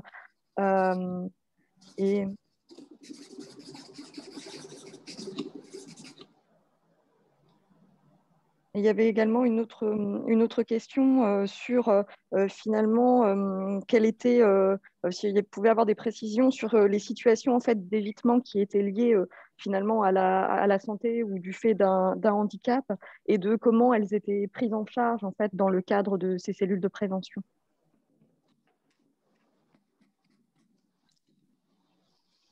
Je, me, bah, je, me, permets, il y a, au niveau des, des, situations, lorsque justement ils identifient que les enfants euh, ont des soucis de santé, euh, alors il y, a, il y, a, déjà la, chose, c'est euh, il y a un travail qui est en train de se mettre en place avec l'ARS. Hein, Béranger, vous contredirez si, si je m'égare, mais il y a un travail qui est en train de se mettre en route parce que nous avons des jeunes qui sont scolarisés en ITEP, en IME, enfin dans, des, dans des structures aussi qui sont en Belgique et euh, donc dans des structures avec une prise en charge liée à leur santé et à leurs besoins. Et, euh, ça fait partie justement des, de, de j'ai envie de dire, des, du croisement de, de fichiers euh, pour pouvoir identifier ceux qui sont vraiment déscolarisés ou en absentéisme scolaire régulier et ceux qui ont une scolarité mais pour laquelle on n'a pas encore identifié le lieu. Ensuite, lorsqu'il y a des besoins, c'est notamment pour le, par exemple, pour le département, euh, tout le, toute l'importance d'impliquer le département, par exemple, c'est de pouvoir aussi euh, proposer un accompagnement s'il y, a des besoins. Donc, travailler si euh, le parent a, une difficulté particulière le matin qu'il ne peut pas se lever parce que médicalement parlant, il a des, des soins ou des, des, empêchements, on va dire, c'est trouver euh, une solution qui sera adaptée, soit euh, par le biais de, dire de, de, la structure familiale. Est-ce qu'il y a quelqu'un au sein de la famille qui peut faire relais? Est-ce qu'il y a quelqu'un qui euh, peut être présent pour conduire les enfants? S'il n'y a pas de besoin, dans ce cas-là, on va peut-être travailler avec le réseau partenaire. Enfin voilà, il y a plein de choses qui peuvent être mises en place. Et quand on s'aperçoit que l'enfant a lui-même un besoin et euh, ou que la famille évoque un souci de santé, c'est notamment dans le cadre de la CEPRAF où, euh, alors on n'est pas médecin, on n'est pas compétent euh, pour évaluer les problèmes médicaux, mais où on peut orienter aussi vers les, partenaires locaux qui pourront prendre en charge la situation et amener des solutions pour scolariser l'enfant de la meilleure façon qui soit. Et quand vraiment on s'aperçoit que les, par exemple, la raison évoquée euh, ne serait pas un problème de santé, mais peut-être, euh, on va dire, une raison qui justifierait simplement euh, de ne pas scolariser les enfants, on pourrait de ce fait, là, intervenir dans le cadre ou d'une IP, donc par le biais du département, ou donc d'une information préoccupante dans le cadre du département ou euh, dans le cadre d'un signalement directement en justice. Et, euh, et là, j'ai envie de vous dire, c'est une autre, euh, on, intervient dans une autre dimension, c'est-à-dire qu'est-ce qu'il fait et, on doit investiguer pour pouvoir apporter des solutions et voir vraiment ce qui se passe pour cet enfant. Merci, Madame Kanda. Madame Vulbrecht, Monsieur Chartrel sur... Madame Vulbrecht, dit. Madame Vulbrecht et après Madame Chartrel, si ça vous va J'ai vu de main levée, j'ai pris la première main levée. Euh, oui, je reviens sur euh, les situations, parce qu'il y a une situation qui, me, fait écho. Euh, pour prendre un exemple très concret, on a eu au sein d'une cellule une, une, enfant qui relève du second degré, qui était déscolarisée et la police municipale a dû se rendre au domicile des parents pour un premier contact. Et la police municipale a, constaté euh, une possibilité de phobie scolaire concernant cette petite. Euh, sauf que la phobie scolaire euh, était totalement méconnue de nos, de nos services au sein de l'éducation nationale. la famille était connue, me semble-t-il, des services sociaux pour, pour d'autres situations.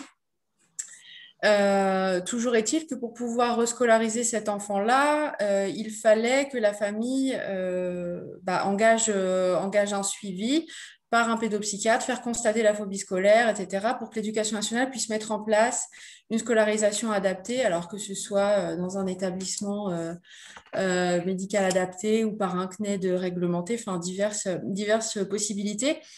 Mais la famille l'ignorait. Donc en fait, c'est là que tout le réseau se met en place, où euh, le conseil départemental rentre en contact avec la famille pour l'accompagner dans les démarches à faire pour que la jeune puisse retourner à l'école, etc., euh, etc. Donc, s'il n'y avait pas eu, euh, comment dire, bah, ce, relais entre la ville, le conseil départemental, l'éducation nationale et, tous les autres, et ben en fait, cette phobie scolaire n'aurait jamais été détectée. Et cette jeune aurait été déscolarisée. dans mes souvenirs, elle n'est est pas si vieille que ça. Elle a 13 ou 14 ans. Donc, euh, c'est concrètement, voilà comment on peut prendre en charge un, souci comme celui-là. Monsieur Chartrel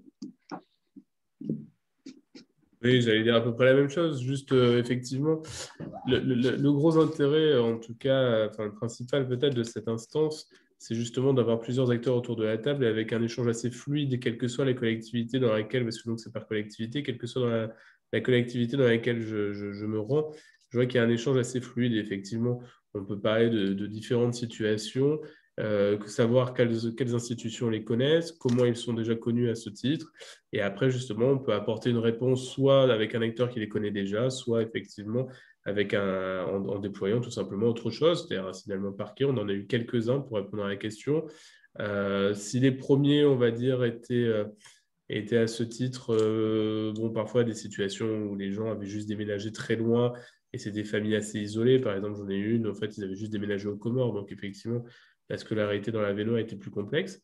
Mais, mais pour le reste, par contre, après, on était davantage sur des signalements vraiment de, qui, ont donné, enfin qui ont ensuite entraîné une information préoccupante, en tout cas une saisine de la CRIP, et, euh, et par la suite euh, qui, ont fait l'objet d'une saisine d'un JE, et pour laquelle la situation a évolué dans le bon sens.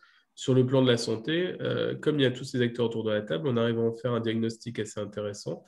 Et, et, autour de la table, il y a déjà des premières réponses quand même qui peuvent être apportées, que ce soit par la commune parfois, si c'est des petites problématiques, mais en tout cas, ça peut arriver, ou alors par le conseil départemental avec la PMI, etc. Des, même euh, s'il faut euh, le SPS, pour, euh, pour pouvoir en tout cas apporter une réponse et essayer de voir justement d'apporter une réponse, une réponse à la problématique qui a été identifiée collectivement sur la famille. C'est vraiment du cas par cas assez intéressant pour ça. Merci pour ces éléments de, ces éléments de réponse. Euh, est-ce que, je ne sais pas, euh, Marjorie, peut-être sur les questions qui nous ont été euh, envoyées en amont de la rencontre, et, on peut se prendre encore, je ne sais pas, un petit cinq minutes peut-être de, réponse, et puis après, on, basculera sur l'accompagnement de ces situations repérées. Oui, effectivement, vous aviez fait remonter dans vos formulaires d'inscription notamment deux sujets qui n'ont pas forcément été abordés ou de manière plus, longue, euh, la confiance euh, dans le partage d'informations notamment. Vous l'avez un peu évoqué avec les chartes de confidentialité, mais peut-être que vous pouvez donner peut-être plus de, précision. Et ça va peut-être aussi avec les différences de culture professionnelle entre tous les partenaires qui constituent ces cellules c'est aussi une question qui a été remontée. Et il y a aussi euh, deux, trois questions, euh, Maïta, dans le, dans le chat qui sont très précises. Je ne sais pas si on les pose maintenant ou juste après et qui peuvent avoir des réponses très, très courtes. Mais euh, peut-être d'abord ces deux sujets-là, la confiance dans le partage d'informations et euh, cultures professionnelles différentes. D'accord. Peut-être que j'invite euh, les, intervenants de la première table ronde après vont être en situation d'écoute attentive, ça j'ai pas de, doute. Mais si jamais il y a des questions très précises qui vous sont adressées, donc vous pouvez faire une formulation assez courte, n'hésitez pas non plus à pouvoir répondre euh, en, direct, peut-être sur ces euh, sur ces dimensions de partage d'informations, de confiance. Voilà, de, de, comment la différence fait une force, mais comment aussi on doit peut-être bien expliquer de quel endroit on est pour voir comment on est complémentaire. Je ne sais pas les uns les autres. Euh. Déjà, c'est apprendre à se connaître. Je pense que ce qu'on a fait aussi au fur et à mesure des cycles d'évitement scolaire, c'est euh, repérer qui est qui, euh, le périmètre de chaque fonction et de chaque institution, leur mission et d'apprendre aussi quels sont les, les, comment les aides que chacun peut apporter. Euh, il y a autour de la table un certain nombre de personnes. Euh, il y a des personnes qui appartiennent à la mairie, des personnes, donc il y a aussi des médiateurs qui peuvent encore intervenir, les, personnes qui vont faire les, contrôles mairie. Il peut y avoir des personnes d'éducation nationale et les inspecteurs de l'éducation nationale. Il peut y avoir donc au niveau du département les responsabilités territoriales ou moi-même, etc.. Et donc, ce qui fait que l'important, c'était déjà identifier qui est dans, et ça, ça a été vraiment euh, quelque chose qui a été garanti euh, par, la charte qui est proposée et, signée par les personnes qui interviennent dans ces comités. C'est-à-dire que tout le monde n'y intervient pas et ceux qui interviennent, on a une charte, on doit la respecter et se pose la question du partage d'informations durant cette, cette cellule, parce qu'effectivement, les familles n'ont pas forcément connaissance qu'on va évoquer leur situation, vu que euh, c'est le regroupement qui fait, généralement, on les connaît pas, la plupart de ces, familles, à un moment donné, euh, on les découvre. Euh, donc, c'est aussi avoir en tête que l'objectif, c'est vraiment d'apporter un soutien et une aide pour les mineurs et de pouvoir scolariser et apporter cette scolarisation aux mineurs parce que c'est un droit et c'est un devoir parental, mais c'est un droit pour les enfants. Et euh, donc ça, c'est la première chose. Nous, au niveau du département, on est très soucieux aussi. Enfin, j'ai pu moi-même en parler avec pas mal de, mes collègues de la question de, des informations. On respecte le cas de la loi, de la loi de, de 2007 et de 2016, c'est-à-dire qu'on partage les informations et on l'a dit plusieurs fois jusqu'à ce matin, euh, jusqu'à présent. On partage les informations euh, dans le cadre des informations dont on a besoin de disposer pour pouvoir trouver des solutions et faire avancer la situation. C'est-à-dire qu'on ne fait pas état de déballage, euh, c'est vraiment des, choses très ciblées et quand elles sont partagées, c'est parce que ça a un intérêt à les partager pour faire avancer la situation. Et, euh, euh, et, je pense que c'est parce qu'on a confiance aussi dans ce groupe que l'on arrive à travailler de cette sorte-là et de cette façon-là aujourd'hui. J'imagine que ça facilite aussi les interpellations. Une meilleure connaissance des uns et des autres euh, doit faciliter aussi le. Tout à l'heure, vous avez parlé, vous avez qualifié vos relations de fluides ou des échanges fluides, je pense. Euh. Est-ce qu'il y a d'autres points à apporter sur ce? Oui, Madame Vulbrecht. Euh, sur euh, la confiance, je ne vais pas revenir sur ce qu'a dit Émilie. Je pense qu'elle a fait bien le tour de, la question. Euh, juste sur la différence de culture professionnelle, de fait, on a, pu, en faire l'expérience puisque plusieurs communes avec des cellules évitement scolaire, mais plusieurs communes qui travaillent différemment, plus divers partenaires qui travaillent aussi, tous différemment les uns des autres, l'échange d'informations eh ben, on en discute. En fait, on essaye tous, je pense, de se rendre la tâche la plus facile. On essaye de répondre quand euh, si. Moi, je sais que si j'ai besoin d'informations euh, de la part d'une commune et que je demande cette information de telle ou telle manière, je sais qu'ils feront le mieux du mieux pour, pour pouvoir me la transmettre comme, comme je la voudrais pour qu'elle soit exploitable tout de suite et inversement. Donc, je pense que on arrive tous plus ou moins à, s'entendre euh, sur ça. Alors, on ne peut pas répondre aux attentes de, toutes, de tous, pardon, mais euh, on essaye de faire au mieux pour, pour, faciliter la tâche de tout le monde. Et euh, ça, c'est franchement appréciable.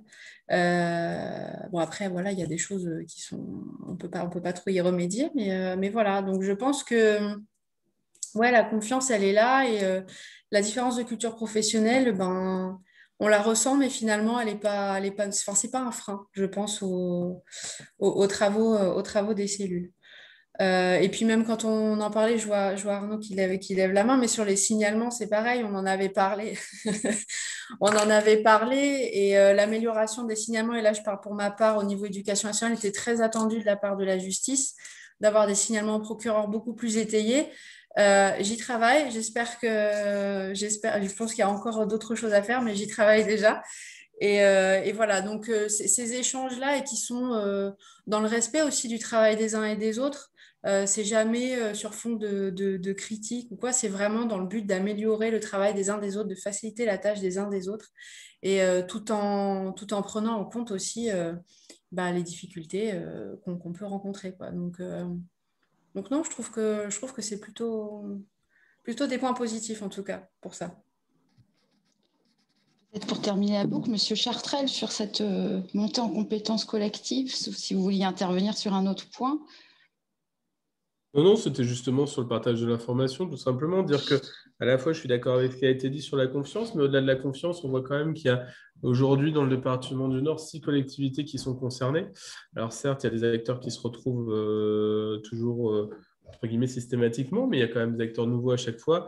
L'intérêt, c'est justement aussi qu'il y ait pu y avoir une charte qui a été signée, qui, a été signée qui, apporte un cadre quand même assez intéressant est suffisamment sécure. Et euh, le deuxième point, pour rejoindre ce qu'a dit Émilie, c'est que n'est partagé que ce qui est partageable, c'est-à-dire que c'est la seule instance pour moi qui réunit autant d'institutions dans un cadre de confiance. Mais euh, par contre, on me dit que moi, je ne vais pas donner tout le passé judiciaire ou tout le suivi éducatif d'une famille. Ça n'a aucun intérêt. Par contre, l'intérêt est de savoir qu'ils sont déjà suivis, pas suivis, comment ajouter sur ce qui est déjà fait si c'est nécessaire, comment au contraire euh, signaler une première fois si, si, c'est inconnu. Pareil, je pense pour Émilie. On n'est pas dans une, dans une instance de protection de l'enfance on doit euh, vraiment euh, déterminer quel va être le suivi adapté à chaque situation en fonction de spécificités sociales très fortes.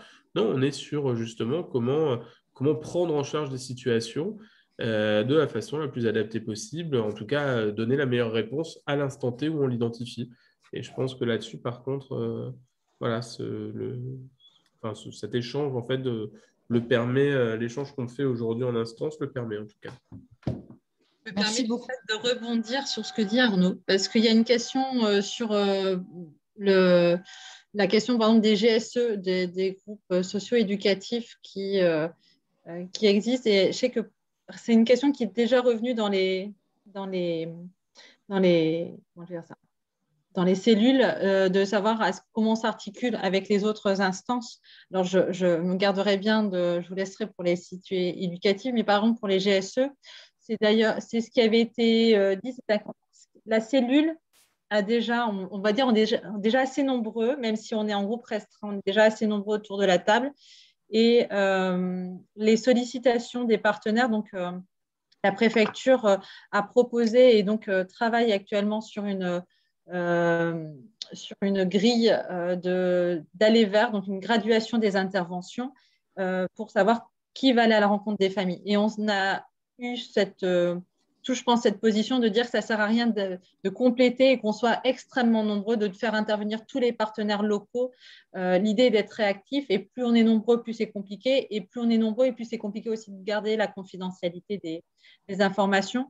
Et donc, euh, pour sa part, le département a accepté, par exemple, de pouvoir faire le lien quand euh, les familles n'étaient pas connues, c'est ce que j'explique au départ, n'étaient pas connues de de, nos, de, nos, services internes au département, de faire le lien avec les partenaires locaux qui seraient susceptibles de connaître les familles et donc d'aller à la rencontre de ces jeunes ou euh, de, leurs parents. Euh, et, c'est pour ça qu'aujourd'hui, euh, on scène bien la cellule de prévention de l'évitement scolaire et par exemple les GSE pour pouvoir garantir euh, la sécurité euh, et la confidentialité euh, des, situations qui sont, qui sont évoquées dans, dans, dans, cette instance. Voilà, je ne sais pas si j'ai répondu, mais... Merci beaucoup. En tout cas, à, vous cinq, vous aurez un, petit mot de la fin de toute façon pendant le dernier tour de, tour de table. Je propose de basculer vers la deuxième euh, séquence d'intervention euh, croisée où là, on a invité euh, voilà, la ville de Lille et la ville de, Roubaix à venir nous expliquer d'un peu plus près la mise en œuvre sur le terrain, la mise en relation avec les familles, une fois qu'il y avait ces, voilà, ces, noms qui ressortaient et ces situations qui attiraient l'attention au sein des, des cellules de prévention donc, il y a Sylvie Lhomme, euh, directrice des services ressources de la mairie de Lille, qui va dans un premier temps euh, euh, nous, expliquer comment ça se passe sur, sur l'île. Puis, ce sera au tour d'Anne-Sophie Belgaïd, qui est responsable du service de réussite éducative de la ville de Roubaix. Elle sera accompagnée par Julie Camus, qui est coordinatrice de la cité éducative et donc elles auront dans un premier temps un, propos sur l'articulation entre ces cellules de prévention d'évitement et la cité éducative. Et elles sont venues accompagnées pour deux illustrations concrètes par euh, Alice Guéquière, euh, qui est responsable en formation des médiateurs scolaires à, Citéo, et Mourad Chiki, directeur adjoint de l'association d'éducation et de prévention spécialisée qui intervient sur les quartiers de, de Roubaix. Madame Lhomme, si vous êtes là, donc on, garde le même schéma, euh, euh, une quinzaine de minutes pour poser un petit peu la, mise en situation, la déclinaison. Il y aura de nouveau un jeu de, questions-réponses. J'invite nos premiers intervenants, si dans le chat vous voyez des petites questions euh, concrètes sur lesquelles vous avez des éléments, n'hésitez pas.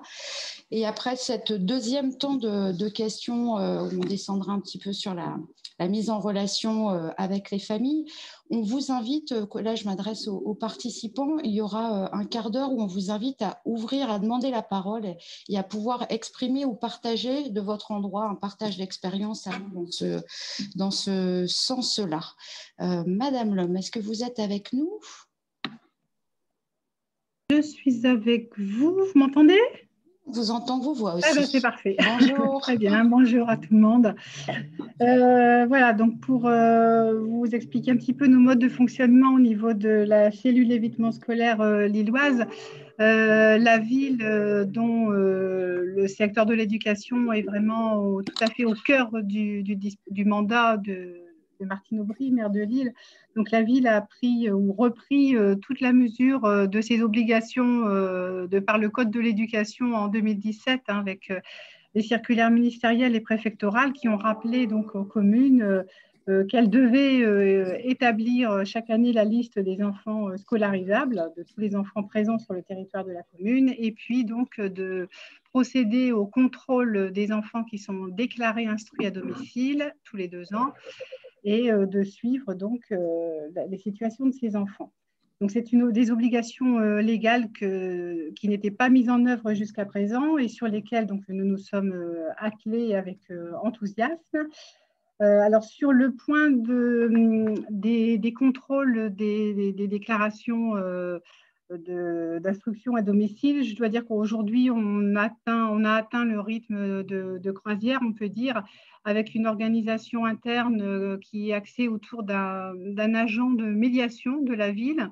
Donc, c'est ce qu'on appelle un ALMS, un agent local de médiation sociale. Donc, ce n'est pas un travailleur social, mais c'est quelqu'un qui a l'habitude d'aller sur le terrain et puis euh, qui donc euh, réceptionne, fait le, travail administratif et puis rencontre les familles et établit le, compte-rendu de, des visites. Euh, donc nous avons, pour vous donner un ordre d'idée, euh, sur euh, l'île, nous avons 12 500 enfants qui sont inscrits dans les établissements scolaires publics, 3 600 dans l'établissement scolaire privé. Et on a, au titre de la présente année scolaire, 150 enfants déclarés instruits à domicile, dont il faut soustraire 14 qui sont en CNED réglementé, et puis 9 scolarisations au titre de la présente année scolaire. Euh, en augmentation, les chiffres en augmentation, comme le disait M. Basseur, hein, puisqu'on était à 96 enfants euh, l'année scolaire précédente et une cinquantaine euh, l'année encore précédente. effectivement, on, monte avec des motivations de la part des familles qui sont, comme on l'a dit également, très différentes. des motivations, donc on est sur le déclaratif, hein, bien entendu, mais donc, euh, on peut citer euh, majoritairement euh, l'effet crise sanitaire, où on a cette année pas mal de familles qui évoquent le contexte Covid pour avoir décidé d'inscrire leur enfant à domicile.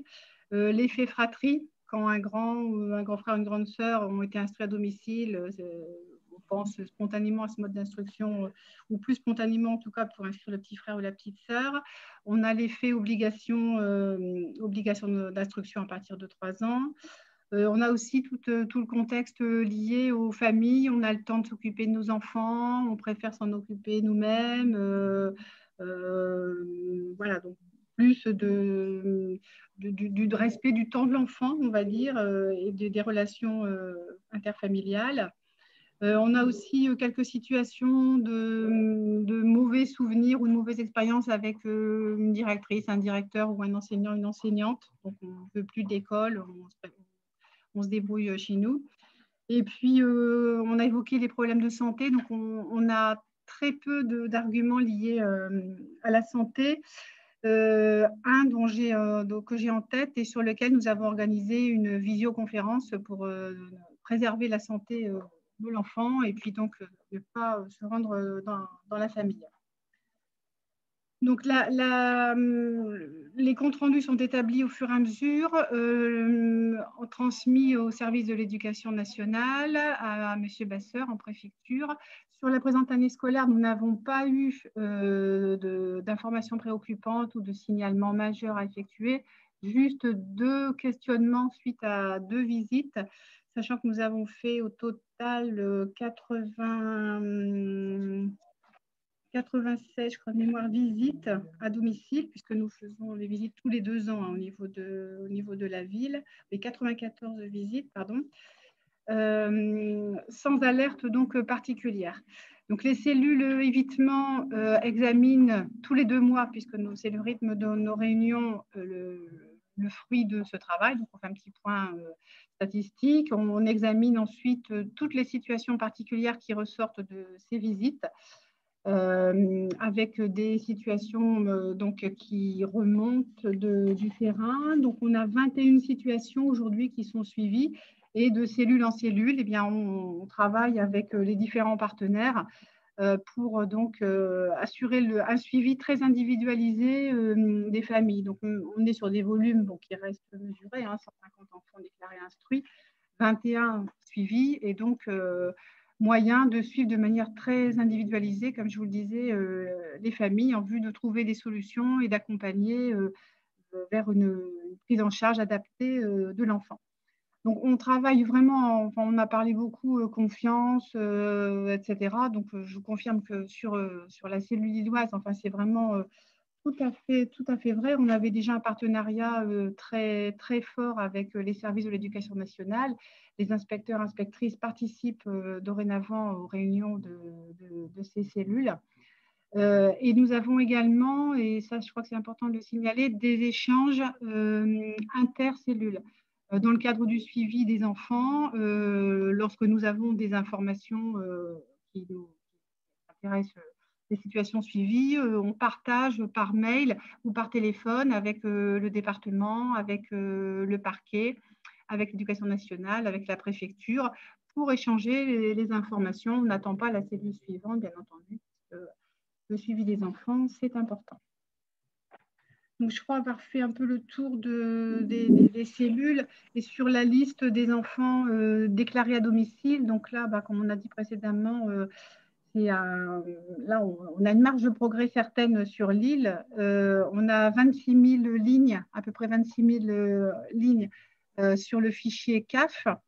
Euh, on en a quelques milliers, de mémoire 2 ou 3 000 sur le fichier MSA, puisque nous avons une convention également avec la MSA pour euh, les familles qui sont affiliées à cet organisme. Et donc, au terme du travail que nous avons réalisé cette année par croisement des fichiers dont la ville que la ville maîtrise aujourd'hui, donc les enfants inscrits dans le public, dans le privé, euh, les enfants qui sont d'autres communes, les qui sont de Lille plutôt, qui sont scolarisés euh, dans d'autres communes, les enfants inscrits à domicile.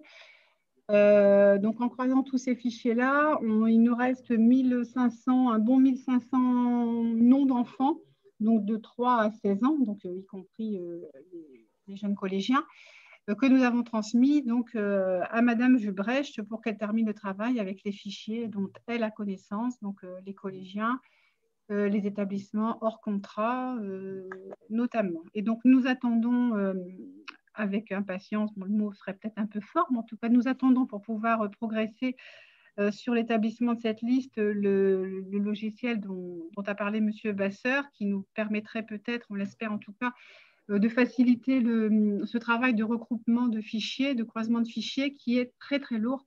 Euh, sur la ville de Lille, on estime à neuf jours pleins euh, agents pour faire un croisement, un seul croisement, donc de l'ensemble des fichiers, bien entendu, en sachant que dans l'idéal, le Code de l'éducation prévoit que ce fichier est mis à jour régulièrement. Donc c'est un travail qui est vraiment très long et très fastidieux. Donc, c'est voilà l'objectif sur la prochaine, prochaine année scolaire, donc avec attente des éléments et du, du, logiciel que pourrait nous donner l'État. Je crois avoir fait le tour et je suis disponible pour les questions. Merci beaucoup, Madame oui, Oui, juste allez-y. préciser aussi, pardon, euh, la cellule évitement scolaire a été mise en place euh, à la demande donc, du, préfet délégué à l'égalité des chances euh, avant la mise en place de la cité éducative. Et du coup, notre cellule couvre tout l'île, alors que la cité éducative ne couvre pas toute la commune de Lille. Merci beaucoup pour cette euh, précision. Euh, je vous propose bah, de céder la, parole donc à, Anne-Sophie Belgaïd que j'ai introduit tout à l'heure, accompagnée par euh, Julia Conu, Aline Guéquier et Mourad Chiki. Je pense que je vous ai vu arriver voilà, tous les quatre. Et donc, après, voilà, le jeu de questions, jeu de questions-réponses, puis la, parole sera à la salle. Bonjour, Madame Belgaïd. Bonjour, bonjour à toutes et tous. Comme d'habitude en cité éducative, ce sera une présentation à plusieurs voix, en plus de nos partenaires qui ont fait la gentillesse de se mobiliser à nos côtés. Euh, bien sûr, Denis Cucheval, délégué du préfet, et je pense peut-être comme l'an Azané, chef de file éducation nationale, compléteront et enrichiront mes propos. Si vous êtes bien là, il me semble que vous êtes là. Euh, du coup, on vous a préparé avec Julien un petit PowerPoint qui permettra de suivre notre intervention. Euh, nous, on a axé notre intervention sur quelles articulations possibles entre cité éducative et euh, cellules de prévention de l'évitement scolaire. Est-ce que vous m'entendez bien? On vous entend très bien, on voit le PowerPoint et on vous voit tous les quatre, c'est parfait. Euh, donc on a accès sur ces modalités d'articulation, modalités d'articulation qu'on a inscrit euh, dès la genèse du projet. Euh, l'idée vraiment était comment assurer une complémentarité de tous les dispositifs sur la ville de Roubaix, y compris la cellule de prévention de l'évitement scolaire, pour euh, renforcer justement l'impact de, nos interventions. Et euh, dès, notre, note d'axe stratégique, on posait justement la cellule d'évitement, euh, de prévention de l'évitement scolaire comme un cadre d'action idéal pour expérimenter de nouvelles approches décloisonnées en matière de repérage et de prise en charge des enfants tout en s'appuyant bien sûr sur les dispositifs déjà existants, dont par exemple le programme de réussite éducative ou encore bien sûr l'action des clubs de prévention ou euh, de CITEO dans le cadre de la médiation. Alors du coup, je ne sais pas, c'est pas moi qui a la main par contre sur le PowerPoint. Si. Qui a la main? Du coup, c'est vrai qu'il paraissait un peu figé. Je ne sais pas si c'est toi, si c'est Julien ou toi qui avait la main. On va la prendre si vous voulez, si ça vous. Ouais, Allez-y, parce que je pense que ça, mon ordinateur euh, bug un peu. ok, et eh bien on va faire ça de, on va faire ça de, de chez nous. Je sentais que j'allais plus vite. Du oui, j'essayais de changer, mais j'en étais ça ne marchait pas. Et j'étais déjà euh, à notre ambition. C'est en cours. C'est en cours, on le charge. On l'a bien réceptionné en tout cas tout à l'heure. en tout cas, on a hâte de se revoir en vrai. Ce sera quand même plus simple. Voilà. On vous met en plein écran peut-être? Oui. Et si vous pouvez passer sur la diapo 2, il me semble. C'est parfait. Euh, donc voilà, bah, c'est ce que je venais dire en, résumé, hein, un objectif prioritaire, cette articulation, et euh, justement euh, plusieurs manières de le faire. Bah, tout d'abord, comme toute action dans le cadre de la cité éducative, c'est bien s'informer les uns les autres, assurer des présences mutuelles pour renforcer aussi l'impact de nos actions. c'est aussi une logique de coopération euh, des acteurs inter, interinstitutionnels euh, à promouvoir et c'est surtout euh, une mobilisation à plein de différentes réponses, à la fois préventives et curatives, nouvelles et existantes en fonction des situations étudiées.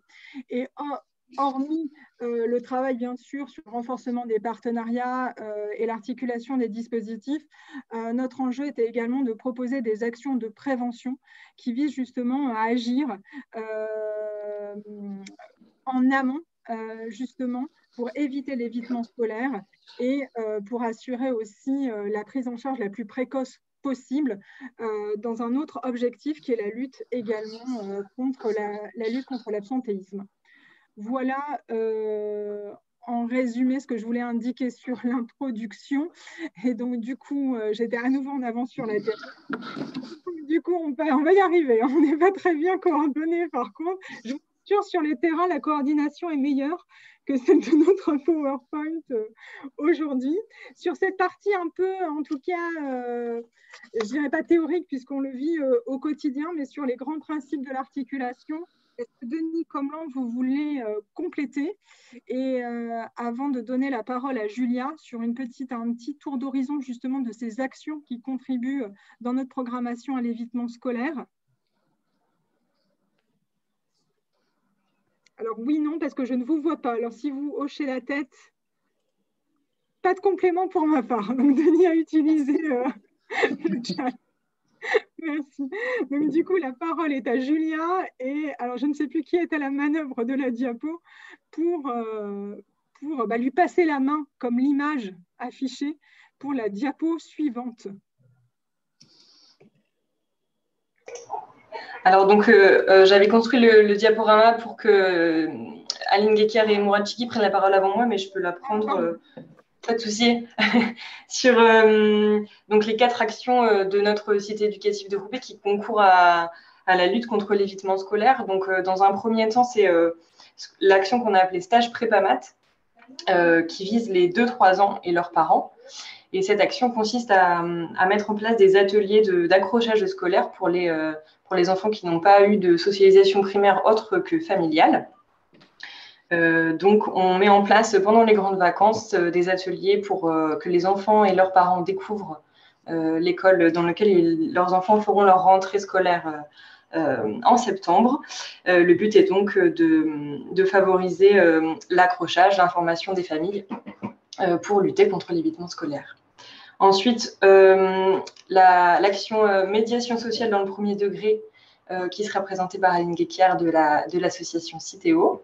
Et puis après, nous avons deux cesses d'accueil que Mourachiki présentera pour le secteur nord, donc porté par l'association d'éducation et prévention, et pour le secteur sud, porté par Horizon 9.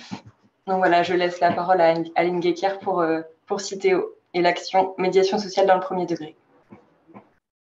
Alors bonjour à toutes et à tous. Euh, je ne sais pas si on peut passer sur la diapo suivante du coup. Euh, alors nous, ça a commencé l'année dernière donc avec le, retour à l'école pour les enfants, où malgré les choses qui pouvaient être mises en place à la fois par euh, les acteurs de l'éducation nationale, les partenaires et la ville, il y avait encore un certain nombre d'élèves et de familles qui n'étaient pas revenus à l'école. Donc Citéo a été sollicité justement puisque dans, notre, dans nos missions, le aller vers est vraiment un des principes qu'on met en, place et qu'on met en, avant, euh, avec cette, justement cette possibilité d'aller sur le territoire et d'aller à la rencontre des familles. Euh, il y a d'autres partenaires aussi qui le font, mais du coup, voilà, il y avait aussi ce lien, vu qu'on avait des médiateurs en milieu scolaire, il y avait aussi cette possibilité de travailler en direct avec les familles. Donc, c'était aussi une première pour nous d'aller au domicile des familles. Donc, euh, plusieurs points qui ont été relevés justement euh, sur, euh, sur les médiateurs. Donc, leur rôle, c'était vraiment d'aller, de faire le point avec les écoles sur l'état des lieux. Donc, sur la diapo suivante, on peut voir un peu les chiffres qui étaient ressortis au niveau de Roubaix. Donc, à peu près 167 élèves injoignables, assez bien équilibrés sur les différents secteurs. Donc, ça a été de faire un point avec les différentes directions d'école pour voir la réalité de terrain. Voilà, si entre deux, des enfants et des familles étaient revenus sur, euh, l'école. Et ensuite, ça a été vraiment du porte-à-porte pour faire le point un peu sur les situations, comme euh, ça a été évoqué précédemment, euh, parfois des familles qui étaient reparties dans leur pays ou qui avaient déménagé, qui avaient changé carrément de ville sans prévenir l'école. Donc voilà, ça, a permis de faire le point et d'éclairer un petit peu les, directions des écoles sur les situations particulières et individuelles des familles. sur, sur la diapositive suivante, il y a deux exemples concrets justement toujours par rapport à cette cellule d'évitement scolaire qui avait été mise en place l'année dernière. Donc par exemple, une élève de CE2 qui n'était pas revenue et donc les médiateurs se sont rendus au domicile, ont pu échanger avec les grandes sœurs qui avaient l'habitude aussi de s'occuper de leurs petites sœurs. Et dans la journée, du coup, cet enfant est retourné à l'école. Ça a été également le moment, enfin, l'opportunité pour les médiateurs de mettre à jour les coordonnées aussi des parents. Euh, parce que parfois, voilà, en effet, il y a des changements de coordonnées, de numéros de téléphone qui ne sont pas transmis tout de suite aux établissements scolaires. Donc, ça freine aussi la prise de contact. Et euh, le deuxième exemple qui est euh, signalé, voilà, c'est une famille, les enfants étaient repartis en Espagne avec leur maman euh, donc étaient scolarisés là-bas, mais pareil, n'avaient pas informé l'école. Donc, avec l'intervention du médiateur qui leur a expliqué aussi la, situation et les, besoins des établissements scolaires, euh, les démarches ont été faites et les choses ont été régularisées aussi pour justement pas entraîner des complications au niveau de la famille, vu que les enfants étaient quand même scolarisés, même si ce n'était pas en France. Euh, voilà euh, en résumé pour ces deux exemples qu'on vous a euh, présentés. Et donc sur la dernière diapositive, c'est plus focus sur la, du coup, la cité éducative avec les médiateurs en milieu scolaire premier degré. Donc actuellement, comment c'est établi? Donc on a trois circonscriptions et chaque circonscription a donc deux médiateurs à l'école. qui se divisent, qui se partagent entre guillemets les écoles. Donc chaque médiateur à l'école a entre 6 et 8 écoles à chapeauter justement avec une demande prioritaire des inspecteurs sur l'absentéisme. Euh, donc, ça fait euh, donc au, moment, enfin, comment ça se déroule pour les médiateurs, c'est que voilà, le matin, ils font le point avec un, directeur d'école pour savoir s'il y a des particularités, des familles qui sont injoignables. Et ensuite, le médiateur appelle les familles, prend rendez-vous ou va directement au domicile si on n'arrive pas à les joindre par téléphone. Donc, c'est vraiment différentes. Euh, les raisons qui, sont ressorties, c'est bon, le Covid, euh, la peur du Covid, surtout s'il y a des enfants qui sont euh, fragiles et, sensibles. On a aussi des élèves qui voilà, sont dans, des, quartiers ou dans des, cours avec toute leur famille et qui voilà les cas Covid qui s'enchaînent. Donc, c'est aussi compliqué, mais qui ne font pas les démarches envers l'école pour prévenir. on a aussi des personnes qui ont déménagé. Et euh, là, dernièrement, c'est aussi, euh, comme l'évoquait tout à l'heure une, des personnes qui parlait, c'était par rapport à une phobie scolaire aussi qui avait été détectée, euh, qui était mise en avant par la famille, mais qui n'avait pas fait les démarches aussi auprès d'un psychologue pour, entre guillemets, mettre un emploi du temps adapté avec l'école. Donc voilà, il y a tout ce genre de choses.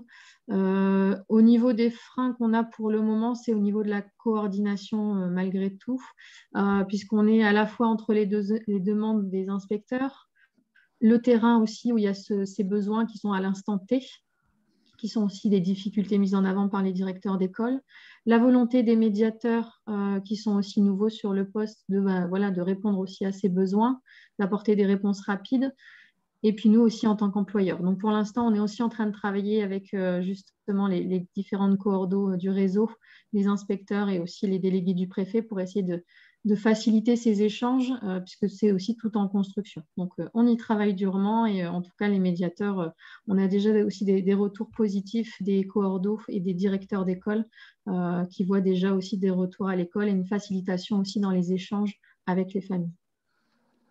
Voilà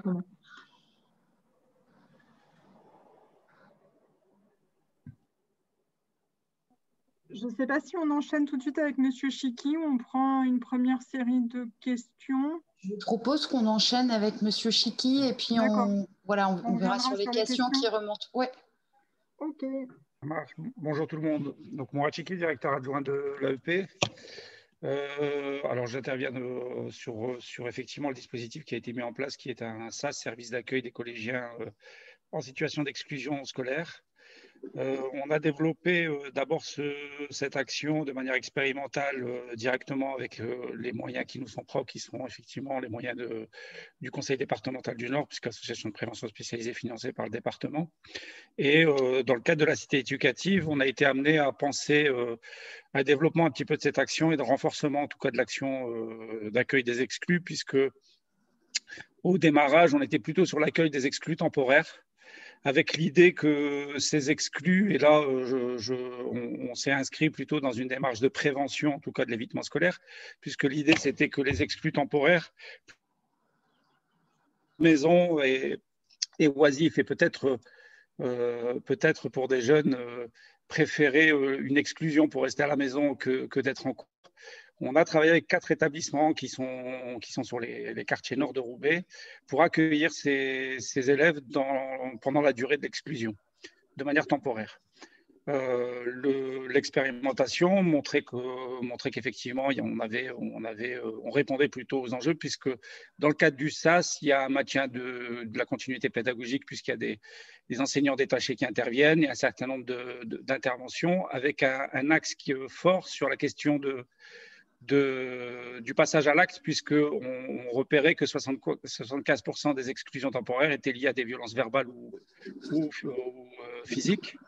Et donc, tout le travail euh, a été, qui a été mené, euh, l'orientation qui a été donnée était un gros travail sur la question des émotions, gestion des émotions, avec des interventions de psychologues, des ateliers boxe éducative et un atelier sophrologie.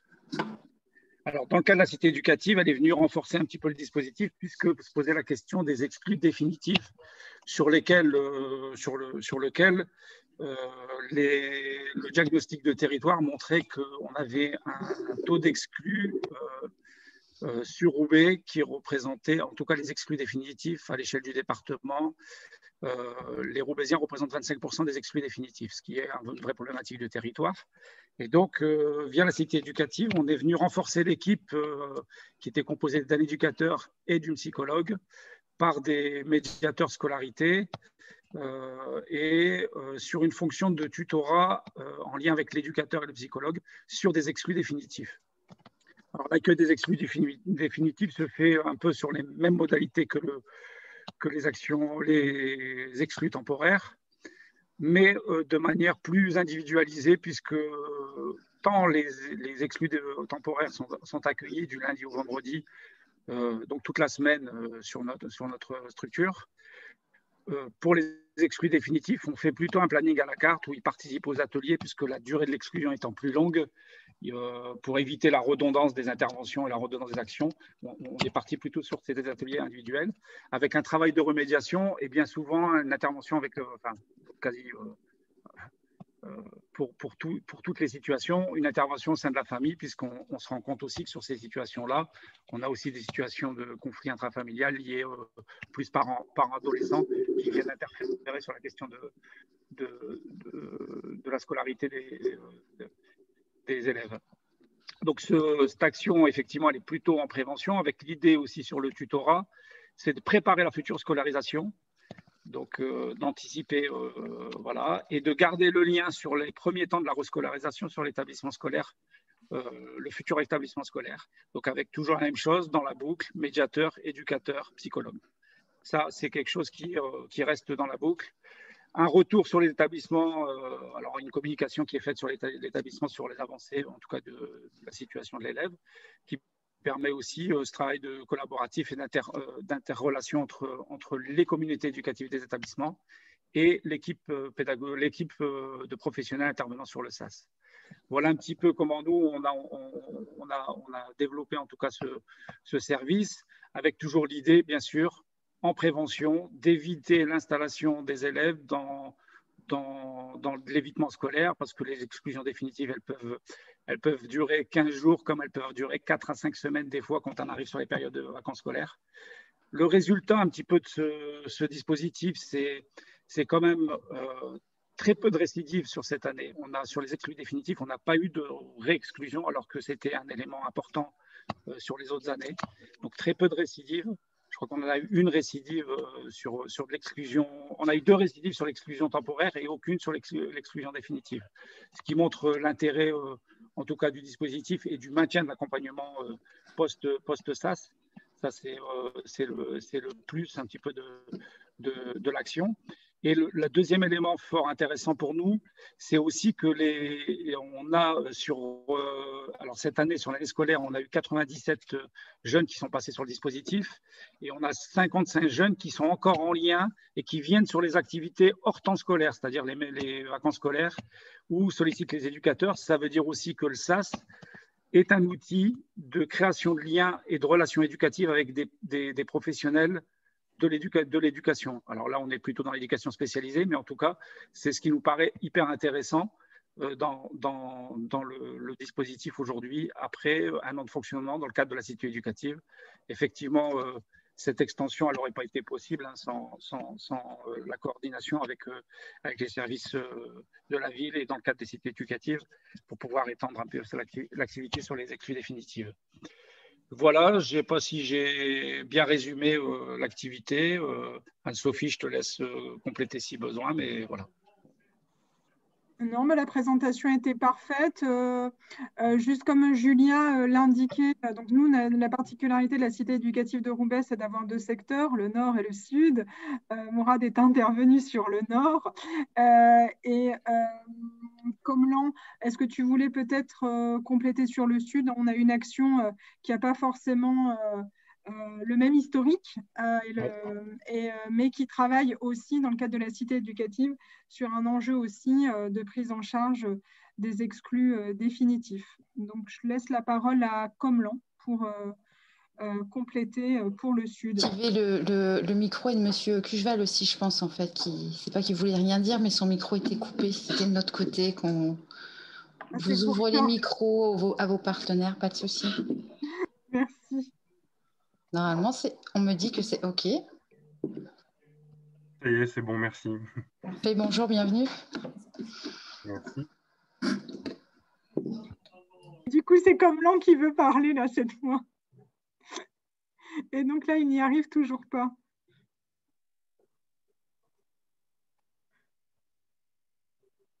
Alors, est-ce que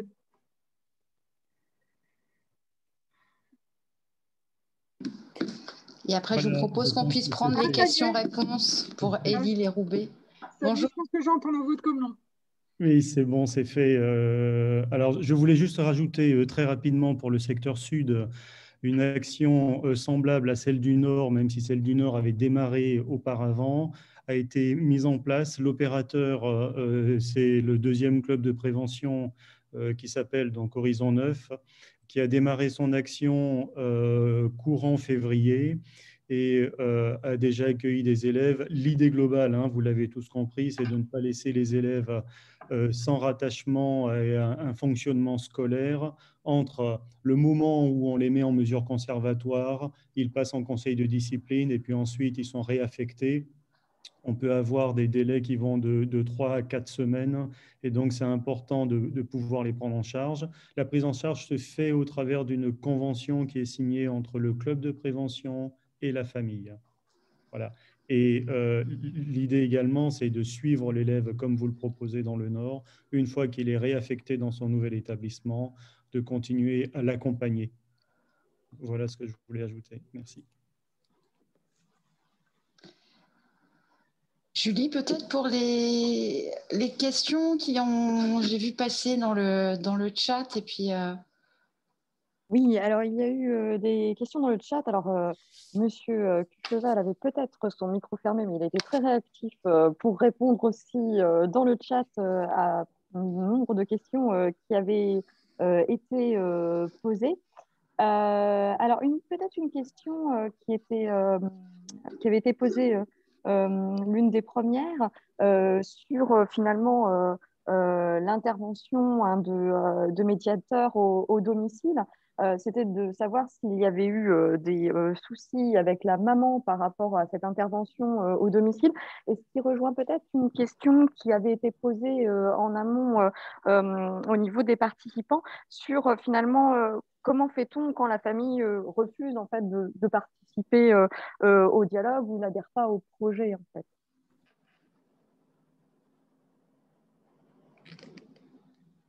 Du coup, j'y vais. Euh, donc, par rapport à la réaction de la maman, donc il n'y a pas eu de retour particulier venant d'elle ni d'autres parents. la démarche est vraiment constructive puisqu'il y a aussi cette volonté de déjà prendre des nouvelles de la famille. On a aussi une, une, manière d'entrer en contact avec les familles on ne les aborde pas directement par la problématique, mais vraiment, c'est d'abord cette création de liens, de présenter nos rôles. Euh, et justement, on n'a pas de pouvoir de sanction aussi envers ces familles, donc il n'y a pas de crainte aussi euh, derrière notre venue, puisque le but, c'est vraiment de recréer le lien entre les familles et les élèves pour le retour à l'école.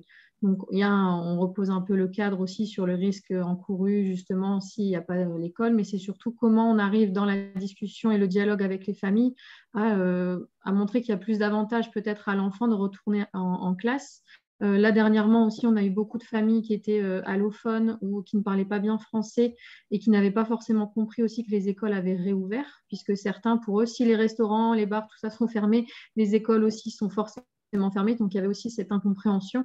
Donc, le rôle du médiateur, c'était aussi de, lever ces incompréhensions euh, vis-à-vis de, l'organisation, des réouvertures, des déconfinements, des dates, etc. Donc, en général, c'est assez bien reçu. et euh, si on a des personnes qui n'adhèrent pas au projet, pareil, on a, en tout cas par la médiation, on n'a pas d'obligation. Euh, de, les, personnes ne sont pas obligées d'intégrer les, processus, mais encore une fois, c'est par le dialogue et après comment on les accompagne vers peut-être d'autres partenaires euh, ou faire le relais à d'autres partenaires aussi qui seraient plus à même d'échanger avec ces familles pour les, les reconduire vers le chemin de l'école pour, pour leurs enfants. J'espère que j'ai répondu. Pour la ville de Lille, oui, je me Oui, je me permets juste. Madame Lhomme et après Monsieur Chiki. Je vous vois, je vois les mains levées. Allez-y, Madame Lhomme. Merci. Euh, oui, pour la ville de Lille, nous avons été amenés à rencontrer euh, quelques situations euh, de familles sur lesquelles nous avions reçu la déclaration d'instruction à domicile, mais où nous avons eu des difficultés sur plusieurs mois à entrer en contact avec la famille pour fixer le créneau pour le rendez-vous au domicile. Euh, donc, dans ces cas de figure-là, notre enquêteur euh, a tenté les contacts euh, classiques mail, téléphone. sans retour ou avec des retours trop évasifs, il s'est rendu sur place. Et nous avons eu quelques situations où nous avons été amenés, après évocation en cellule évitement, à faire des signalements auprès du département et auprès du parquet.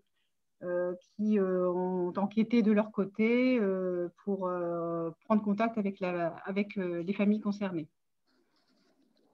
Donc, on essaie d'aller, grâce au partenariat mis en place au titre des cellules, le plus loin possible de ce qu'on peut faire à l'amiable et pour donc prendre contact avec les familles et puis voir un peu ce qui se passe et quelles difficultés elles peuvent rencontrer, quels accompagnements on peut mettre en place. Monsieur Chiki oui, juste sur, le contact avec les familles, effectivement, sur ça, on a les mêmes difficultés puisque la sanction est posée par l'établissement et bien souvent les familles pensent qu'on est euh, là opérateur de l'éducation nationale et qu'on vient, euh, et qu'on vient euh, au service de, principalement de l'établissement. Et c'est vrai que les premiers contacts avec les familles, c'est toujours on a souvent des familles qui se mettent en retrait. Alors sur sur les 97 accueillis, on a eu on en a eu 99 orientés, 97 euh, validé. Donc, on a eu deux refus de famille avec des familles qu'il faut ressolliciter régulièrement. C'est-à-dire qu'on ne s'arrête pas au premier refus. On attend deux, trois jours, on relance parce que bien souvent, le fait d'avoir l'élève, l'enfant à charge à la maison, au début, ils se disent non parce qu'ils sont en conflit avec l'établissement mais euh, d'y aller deux, trois jours après, de gérer le, le, jeune à la maison pendant deux, trois jours, deux, trois jours après, bien souvent, ils reviennent en arrière et soit ils nous sollicitent directement parce qu'on a laissé les contacts, soit quand on les rappelle, ils nous disent finalement, ça nous intéresserait qu'ils viennent sur le SAS. Et ça, c'est intéressant parce que ça veut dire aussi qu'il faut laisser aussi les, familles cheminer et absorber euh, ce qu'ils vivent en termes de, de, de, de, frustration liée à, voilà, à, la question de l'exclusion et, et, au, conflit qui, peut exister avec l'établissement scolaire. Voilà. Julie ou Marjorie, est-ce qu'il y a d'autres euh, groupes, de, groupes de questions? Il y avait une question euh, très précise euh, sur les médiateurs. Est-ce qu'ils signent une charte de confidentialité? On en revient toujours à ce sujet de la confidentialité. C'est pour Madame Guéquiard alors, ou Monsieur Cucheval qui a enlevé Monsieur Cucheval, excusez-moi, allez-y. Non, mais je vais laisser Aline Guéquiard effectivement préciser davantage encore après, mais euh, les, médiateurs en tant que tels ne siègent pas à la cellule de lutte contre l'évitement scolaire. Donc, euh, ils ne sont pas membres de la cellule. Donc, tous les membres de la cellule ont signé une charte, certes, mais les médiateurs ne sont pas concernés par ça. Et la cellule de lutte contre l'évitement scolaire va saisir la mission de médiation pour des situations particulières. Et ensuite, sur la base de cette saisine, les médiateurs vont intervenir, mais dans le cadre de leur euh, cadre déontologique habituel. Euh, ils ont l'habitude de travailler sur des situations particulières délicates, sur saisine du chef d'établissement, du CPE. Là, c'est dans le cadre de la cellule de lutte contre l'évitement scolaire, mais je pense, je laisse Aline après compléter, mais je pense que pour eux, c'est la posture professionnelle habituelle de discrétion, enfin, qui va avec leur déontologie, quoi. Donc on a, dans notre cadre déontologique, on a euh, cette partie-là qui est euh, confidentialité et devoir de discrétion. Donc, en effet, il y a des éléments qu'on va pouvoir transmettre qui sont, euh, voilà, qui sont euh, qui peuvent être partagés. Après, on essaye toujours, en tout cas, d'avoir l'adhésion des familles pour passer ces informations. Euh, après, voilà, c'est comme tout au niveau cadre légal. Euh, quand c'est des choses vraiment euh, très graves, mises en danger, etc., là, il n'y a plus de confidentialité. Là, on est obligé de passer l'information, ce qui est logique. Euh, après, voilà, ce qui est nécessaire de passer comme information, on le transmet. Après, tous les détails ne sont pas non plus à transmettre. Et en tout cas, avec majoritairement l'adhésion des, personnes et des familles pour qu'on puisse transmettre ces informations en toute confiance aussi, pour pas que les gens se sentent trahis euh, puisque le but, c'est vraiment de les accompagner et euh, d'aller au bout avec eux euh, pour que tout se passe au mieux pour chaque, pour chaque partie. Mais en tout cas, non, on ne signe pas de charte de confidentialité comme évoqué. Est-ce qu'il y a d'autres choses, Julie et Marjorie? Il y a une question sur la gestion justement du respect de la libre adhésion, sur comment, comment ça se met en œuvre.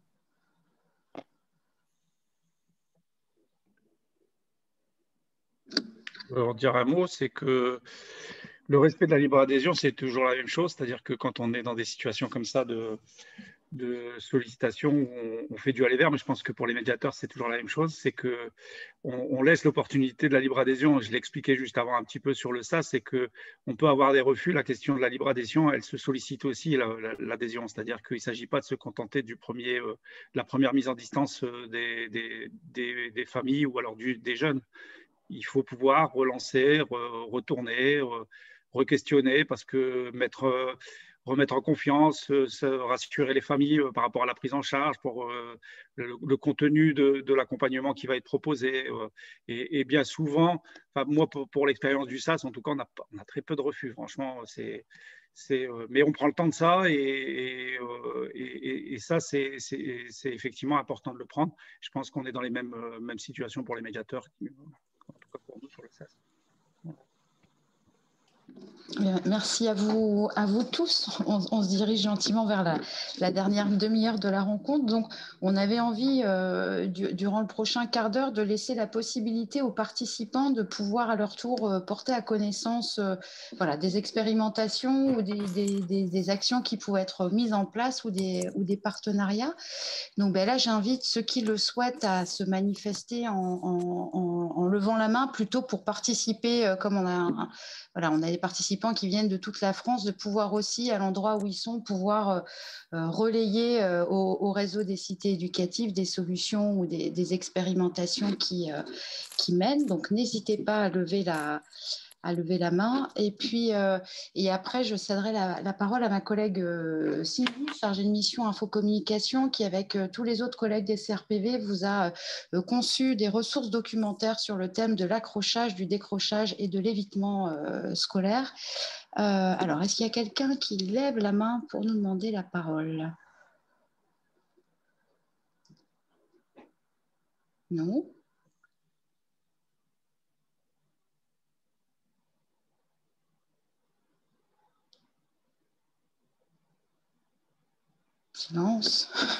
Bon, bah écoutez, on a tenté de vouloir faire remonter euh, notre expérience des participants. Est-ce qu'il y a euh, d'autres questions éventuellement ou des ajouts de la part des, des, intervenants ou de la part des intervenants de la première, euh, première table ronde?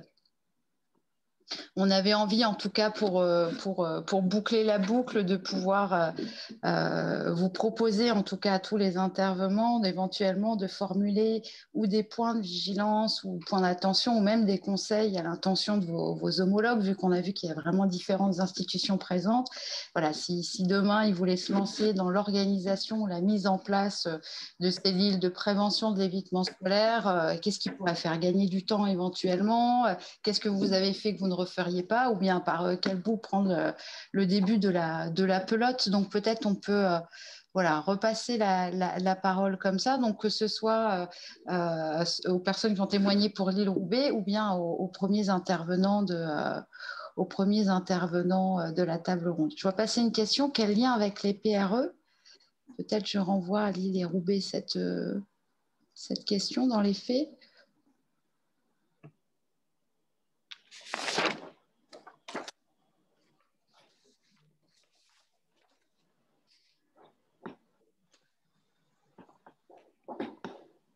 Peut-être clarifier la question sur le lien euh, par rapport à quoi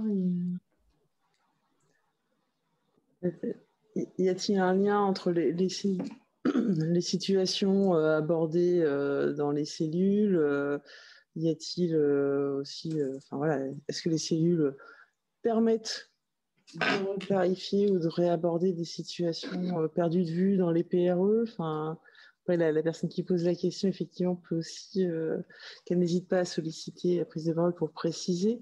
je ne sais pas si du côté des communes de Roubaix ou de Lille, effectivement, là-dessus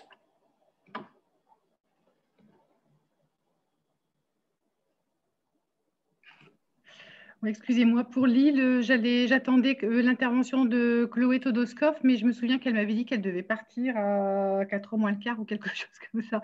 Donc, c'est elle qui gère le dispositif de réussite éducative et là, je ne suis pas capable de vous donner euh, réponse à cette question. Donc, je suis désolée.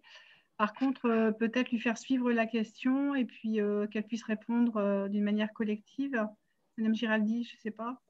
Oui, oui. Et donc, comme je vous disais, la, capitalisation écrite sera sous forme de foire aux questions un petit peu. Donc, les questions qui n'ont pas trouvé de réponse aujourd'hui, comptez sur nous, on relaiera aux intervenants. Madame Belgaïd En tout cas, pour le PRE de Roubaix, bah, pour, pour, nous, ce n'est pas les mêmes situations, puisque du coup, le, le PRE, hein, pour rappel, dans son cahier des charges, accompagne des jeunes, euh, euh, des enfants et des jeunes euh, scolarisés, même s'il peut y avoir des problématiques d'absentéisme. Donc, du coup, c'est un peu, pour nous, on le conçoit comme une articulation dans le cadre de la cité éducative, c'est-à-dire qu'on agit bien, nous, en prévention. Le but, c'est justement de travailler à prévenir aussi l'évitement scolaire. Euh, peut-être qu'à la marge, à terme, il y aura peut-être des situations éventuellement qu'on a déjà accompagnées et pour lesquelles il y aura une sollicitation euh, de reprise de contact éventuellement, mais en tout cas, ce cas de figure euh, ne s'est pas aujourd'hui présenté. Et pour moi, le, travail des programmes de réussite éducative est justement sur également cette prévention. et on travaille justement avec des enfants encore, scolarisés euh, voilà. Je ne sais pas si d'autres. Euh, je sais s'il y a d'autres membres de la cellule d'évitement qui veulent euh, compléter mon propos.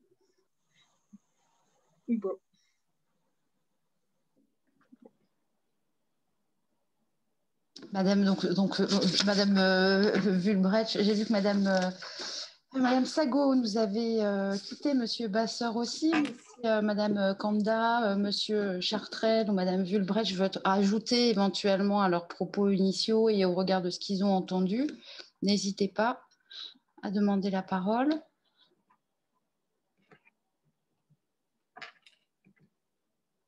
Je me permets juste de réagir concernant la question sur la place du service social en faveur des élèves dans les cellules.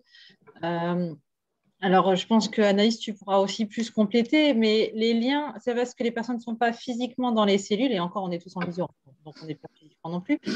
Mais euh, c'est pas parce qu'on n'y est pas physiquement que les liens ne sont pas faits avec les, services euh, euh, internes des institutions.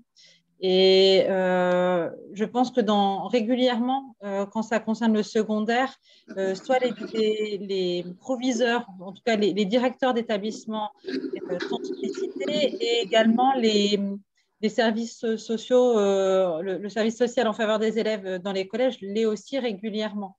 Il y a des liens qui sont faits et je, je pense que nous sommes des représentants de nos institutions lorsque nous sommes sur les cellules d'évitement scolaire et euh, nous avons le souci, et c'est peut-être quand vous parliez des leviers et des, points qui ont fait peut-être un peu écueil, j'ai envie de dire, euh, dans, les cellules, c'était aussi de, continuer à être performant dans la réactivité de nos cellules, de ne pas attendre qu'on se revoit deux mois plus tard. Et c'est vraiment un temps d'échange, mais entre deux, il y a d'autres échanges qui se font entre nous pour savoir où on est. Et c'était vraiment la volonté de la préfecture de pouvoir avancer, qu'il y ait un compte-rendu qui est fait aussi entre nous, de savoir qui fait quoi et euh, où on en est dans les situations pour pouvoir continuer d'avancer et pas attendre deux mois. Euh, et donc régulièrement, que ce soit les services sociaux du département, les services sociaux euh, de l'éducation nationale, les, les, inspecteurs de l'éducation nationale, enfin, la, mairie, les médiateurs, tout le monde intervient et donc on essaye d'avancer entre, ces, les, en temps, entre les temps de rencontre, j'ai envie de dire, de ces cellules.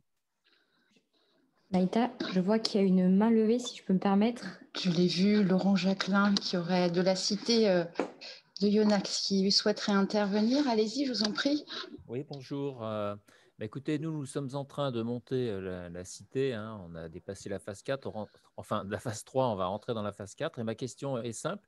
Je voulais savoir s'il y avait un, financement, du coup, spécifique de la cité éducative sur cette cellule? Et si oui, bah, à quelle hauteur quoi?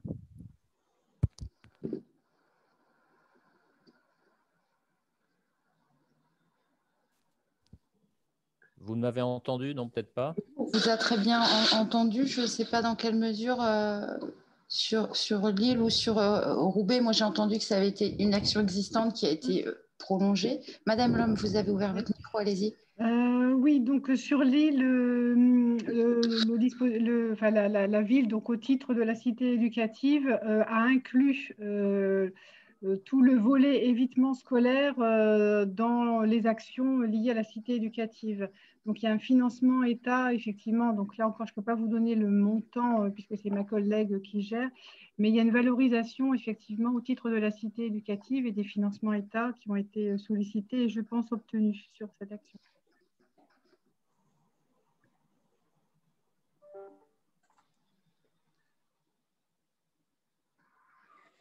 Peut-être sur, euh, Roubaix?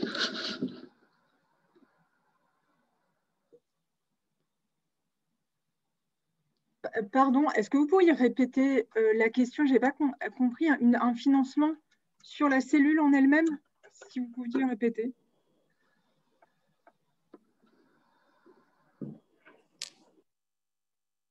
Que, que quelqu'un pourrait nous repréciser la question? Je ne peux pas me répondre. Micro de.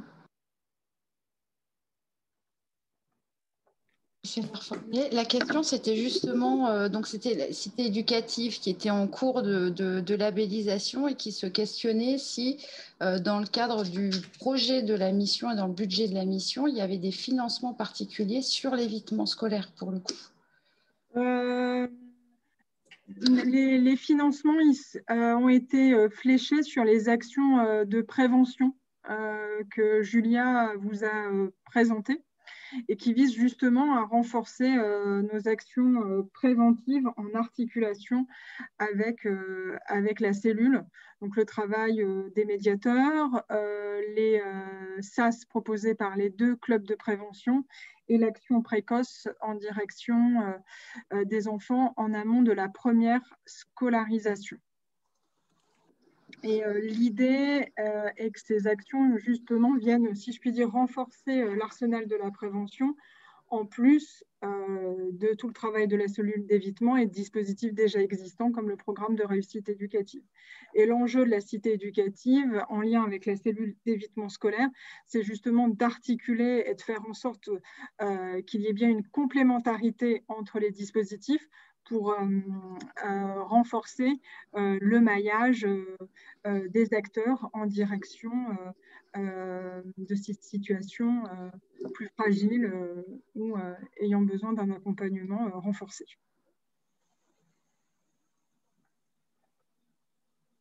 Voilà, j'espère avoir répondu à votre question. Désolée, j'avais un problème de batterie, donc du coup, j'ai dû aller recharger. Il y a des, des, silences. En vision, on ne sait pas si c'est. On ne sait jamais si c'est une coupure de connexion ou si c'est juste un blanc de, oui, de réflexion. Tout a failli s'éteindre, donc du coup. Bien, euh, merci. Je ne sais pas s'il y a d'autres prises de parole du côté des participants qui souhaiteraient euh, faire remonter en direct leurs questions. Sinon, voilà, avant de laisser le dernier mot peut-être aux différents intervenants sur par où commencer de, son endroit, je ne sais pas, Cindy, si tu, si tu m'entends et si on, voilà, si tu souhaites présenter le document euh, ressources qui a été élaboré par les différents centres ressources politiques de la ville. Oui, merci Maïta. Bonjour tout le monde. Est-ce que vous m'entendez bien? On t'entend très bien. Très bien. Euh, simplement pour euh, ben, vous dire que le, que réseau national pardon, des centres de ressources politiques de la ville euh, ont une fonction information et nous avons pour la plupart dans nos centres de ressources des centres de documentation. Et donc, dans ce cadre, et pour aujourd'hui, on vous propose un, dossier ressources, enfin une petite bibliographie que je vous ai mis dans le chat qui vous permettra d'aller plus loin et qui vous, euh, dans lequel vous retrouverez à la fois des euh, documents produits par les centres de ressources politiques de la ville. ça peut être de la synthèse de documents, de la production de la vidéo, des conférences et également des documents qu'on a cherchés et qu'on a compilés qui viennent de nos euh, différentes euh, bases documentaires, donc des catalogues documentaires, euh, simplement pour vous dire qu'il y a deux catalogues documentaires qui sont le COSOTER, qui regroupe, dont un qui s'appelle COSOTER, qui regroupe les publications politiques de la ville du réseau national des centres de ressources, et une autre base documentaire à laquelle l'IREV participe, qui est le réseau Récit. Je vais vous mettre les liens euh, dans euh, le chat, mais euh, surtout aussi pour vous dire de ne pas hésiter à aller consulter ces catalogues documentaires quand vous avez besoin d'informations et nos sites internet. Voilà on, repostera. J'ai vu qu'il y avait des questions aussi sur les différents euh, documents. Euh, donc tout vous a été mis sur le, chat et sur la, page d'accueil, euh, enfin la page dédiée à l'événement sur le site de l'IREV. On postera comme d'habitude toutes les productions et puis les différents les différents supports. Si nos intervenants sont encore là, voilà, je leur aurais bien laissé un dernier petit tour de un petit tour de parole et après j'ai une collègue, mais là je m'adresse à l'intention des participants qui va vous poser sur le chat un petit, euh, sondage de 3-4 questions, euh, comme on avait sollicité vos attentes, savoir dans quelle mesure euh, les échanges d'expérience et d'informations ben voilà, vous, peuvent vous être utiles ou pas pour, la suite. je ne sais pas qui souhaite avoir un, petit mot, un conseil de mise en œuvre ou de retour d'expérience de démarrage. Je pense que Madame Kanda a déjà bien, bien, participé. Est-ce que vous auriez un petit mot Madame Villebrèche, peut-être Chartrel Par où commencer euh, ceux qui souhaitent mettre en place Oui, Monsieur Chartrel, allez-y, merci. Ah bah, ou Anaïs, hein, n'importe. Euh, moi, j'aurais été plus juste sur le diagnostic, en fait. Je, parlais, je voulais juste dire ça. C'est Depuis tout à l'heure, on en a parlé. Il y a quand même beaucoup d'actions qui sont très chronophages dans celles qui sont entreprises. Il y a des problématiques qui sont réelles en fonction des territoires, d'autres qui le sont un peu moins. On peut le voir dans le département du Nord, euh, des problématiques peut-être plus présentes à, à, Lille qu'à Maubeuge et parfois plus inversement, plus, présentes à Maubeuge qu'à Lille. C'est peut-être ciblé justement sur l'ensemble des axes dont on, a parlé tout à l'heure, peut-être ceux qui correspondent le mieux euh, à, à, la réalité du territoire, sans avoir obligatoirement d'a priori, parce que parfois d'ailleurs on l'a pu le voir, les a priori étaient, étaient un peu erronés un peu tronqué. Donc, ce serait plutôt vraiment ce, ce point d'une année un peu un diagnostic. En tout cas, moi, ce serait un conseil là-dessus. Voilà. Merci. Madame Vulbrecht, allez-y. Euh, moi, ce serait des conseils plutôt techniques, du coup, euh, sur, euh, sur le, traitement, le traitement des données et puis sur le diagnostic aussi, la Carnot a, a conseillé il y a plusieurs, euh, plusieurs champs d'intervention. On parle, on parle d'instruction dans la famille, on parle des croisements des fichiers CAF, on parle. Il y a eu une question tout à l'heure sur le traitement des situations d'absentéisme. Je ne sais pas si tout le monde a vu la réponse, mais elles sont aussi euh, traitées au sein des cellules. Euh, ça fait un peu beaucoup de choses, beaucoup de choses en même temps, mais tout n'intervient pas au même moment de l'année, donc il faut essayer de voir un petit peu par quoi on peut commencer. donc moi, ce que je conseillerais dans un premier temps, pour rebondir sur le diagnostic évoqué Arnaud, c'est de voir d'ores et déjà les situations cette année qui ont posé problème, notamment en matière d'absentéisme ou de contrôle de l'instruction dans la famille, et qui pourront être évoquées euh, dans les cellules euh, qui vont, euh, qui vont incessamment sous peu s'installer. Donc, ça pourra être déjà des premiers sujets à aborder, puisque les fichiers CAF ne vont pas arriver tout de suite, le temps que la CAF fasse le travail. On est déjà fin septembre, début octobre, dans le meilleur des cas. et en ce qui concerne les fichiers CAF, eh ben, on en parlait tout à l'heure avec Béranger aussi, c'est euh, avoir les bons outils. Euh, donc nous, on travaille à, avoir cet outil-là avec euh, la préfète déléguée à l'égalité des chances. Donc pour l'instant, on ne l'a pas. mais ça pourrait aussi être un partage hein, de, de savoir-faire avec, avec d'autres départements. D'ailleurs, pour ce qui concerne l'éducation nationale, si jamais il y a besoin, moi je veux bien répondre à toutes les questions, il n'y a aucun souci. Euh, mais voilà, c'est un peu ça, ça va être un travail fastidieux. Et tant qu'on n'aura pas les outils, malheureusement, on pourra pas, pourra pas mieux faire. Donc moi, je commencerai par là, par euh, le concret, ce qu'on sait déjà, et puis après, euh, on voit, on voit comment on fait. Puis l'expérience faisant aussi. Malheureusement, d'un territoire à l'autre, les réalités ne sont pas les mêmes. Donc je ne peux pas présager de ce qui va se passer dans les autres départements, mais il y a au moins des problématiques communes. Voilà. Madame Kanda je pense qu'il y a beaucoup de choses qui ont été dites. J'aurais juste envie de rajouter que je pense qu'il faut un portage institutionnel. Euh, il faut qu'à l'interne de nos institutions, il y ait quelqu'un qui s'empare de la question et puisse le porter. Ça prend du temps. Euh, ça prend du temps à mettre en place. Ça prend du temps pour y participer et après gérer aussi euh, les suites des, des cellules.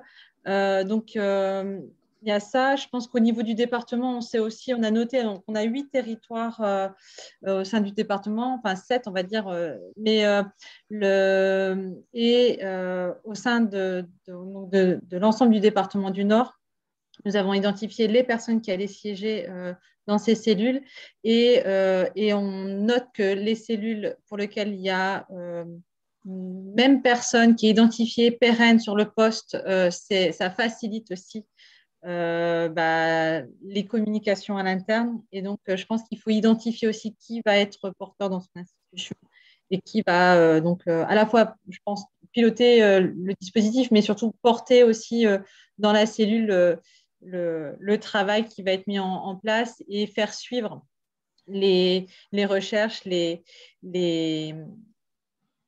je veux dire, qui va aller à la rencontre aussi des personnes. C'est important d'avoir, d'identifier vraiment qui va porter le, projet lorsque vous allez souhaiter euh, mettre en place cette, euh, euh, cellule d'évitement scolaire en place sur vos territoires.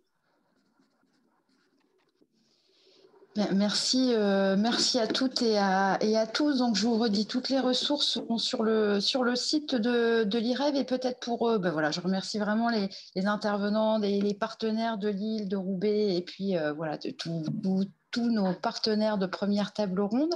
Euh, donc, il y a ce petit sondage qui n'est évidemment non obligatoire, mais c'est aussi euh, pour nous continuer à, voilà, à pouvoir répondre au mieux à vos attentes et voir comment on a répondu de manière euh, concrète et pratique. C'était vraiment un, point de vigilance qu'on avait de pouvoir, par le, le, porter à connaissance et par l'échange d'informations, de pouvoir voilà, euh, aider euh, de notre endroit de centre ressources les professionnels que, vous êtes.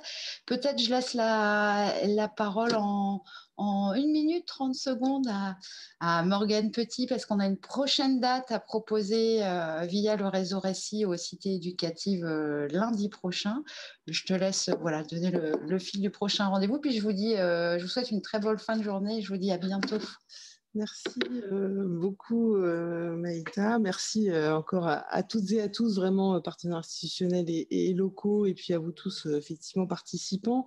donc, ravi vraiment que, cette rencontre ait pu avoir lieu en espérant qu'on a répondu à toutes vos questions. Et effectivement, la semaine prochaine, le, 21, donc lundi prochain, se tiendra un nouveau webinaire à destination des acteurs des cités éducatives, proposé cette fois par le réseau Récit, donc, qui est qu'évoquait Cindy Guillotte tout à l'heure, portant sur les questions de mixité et de, justice scolaire. Donc, on vous attend nombreux. Les informations sont là aussi, je pense, disponibles dans le chat, euh, sur le site du réseau Récit, sur le site de l'IREF, bien évidemment, un webinaire euh, qui sera euh, donc proposé par deux membres du réseau Récit en particulier, l'IREV et l'ORIV, nos collègues du Grand Est, et qui reposera en grande partie sur l'intervention de Barbara Fauquet-Choprade, qui est universitaire spécialiste des questions de mixité scolaire et de ségrégation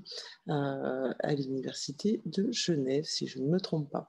Euh, voilà, donc on vous attend nombreux la semaine prochaine, euh, un webinaire de deux heures. On, sait qu'on vous mobilise beaucoup, que vous avez beaucoup de sollicitations, mais c'est aussi l'avantage du distanciel, c'est qu'on peut faire des rendez-vous plus courts, mais plus souvent. Euh, au plaisir en tout cas de vous retrouver très bientôt, et puis je laisse le, mot de la fin à Maïta, néanmoins. Ben, c'est la fin. Avec cinq minutes d'avance, une fois n'est pas coutume. Très belle journée à vous. Au revoir. À très bientôt. Merci. Au revoir.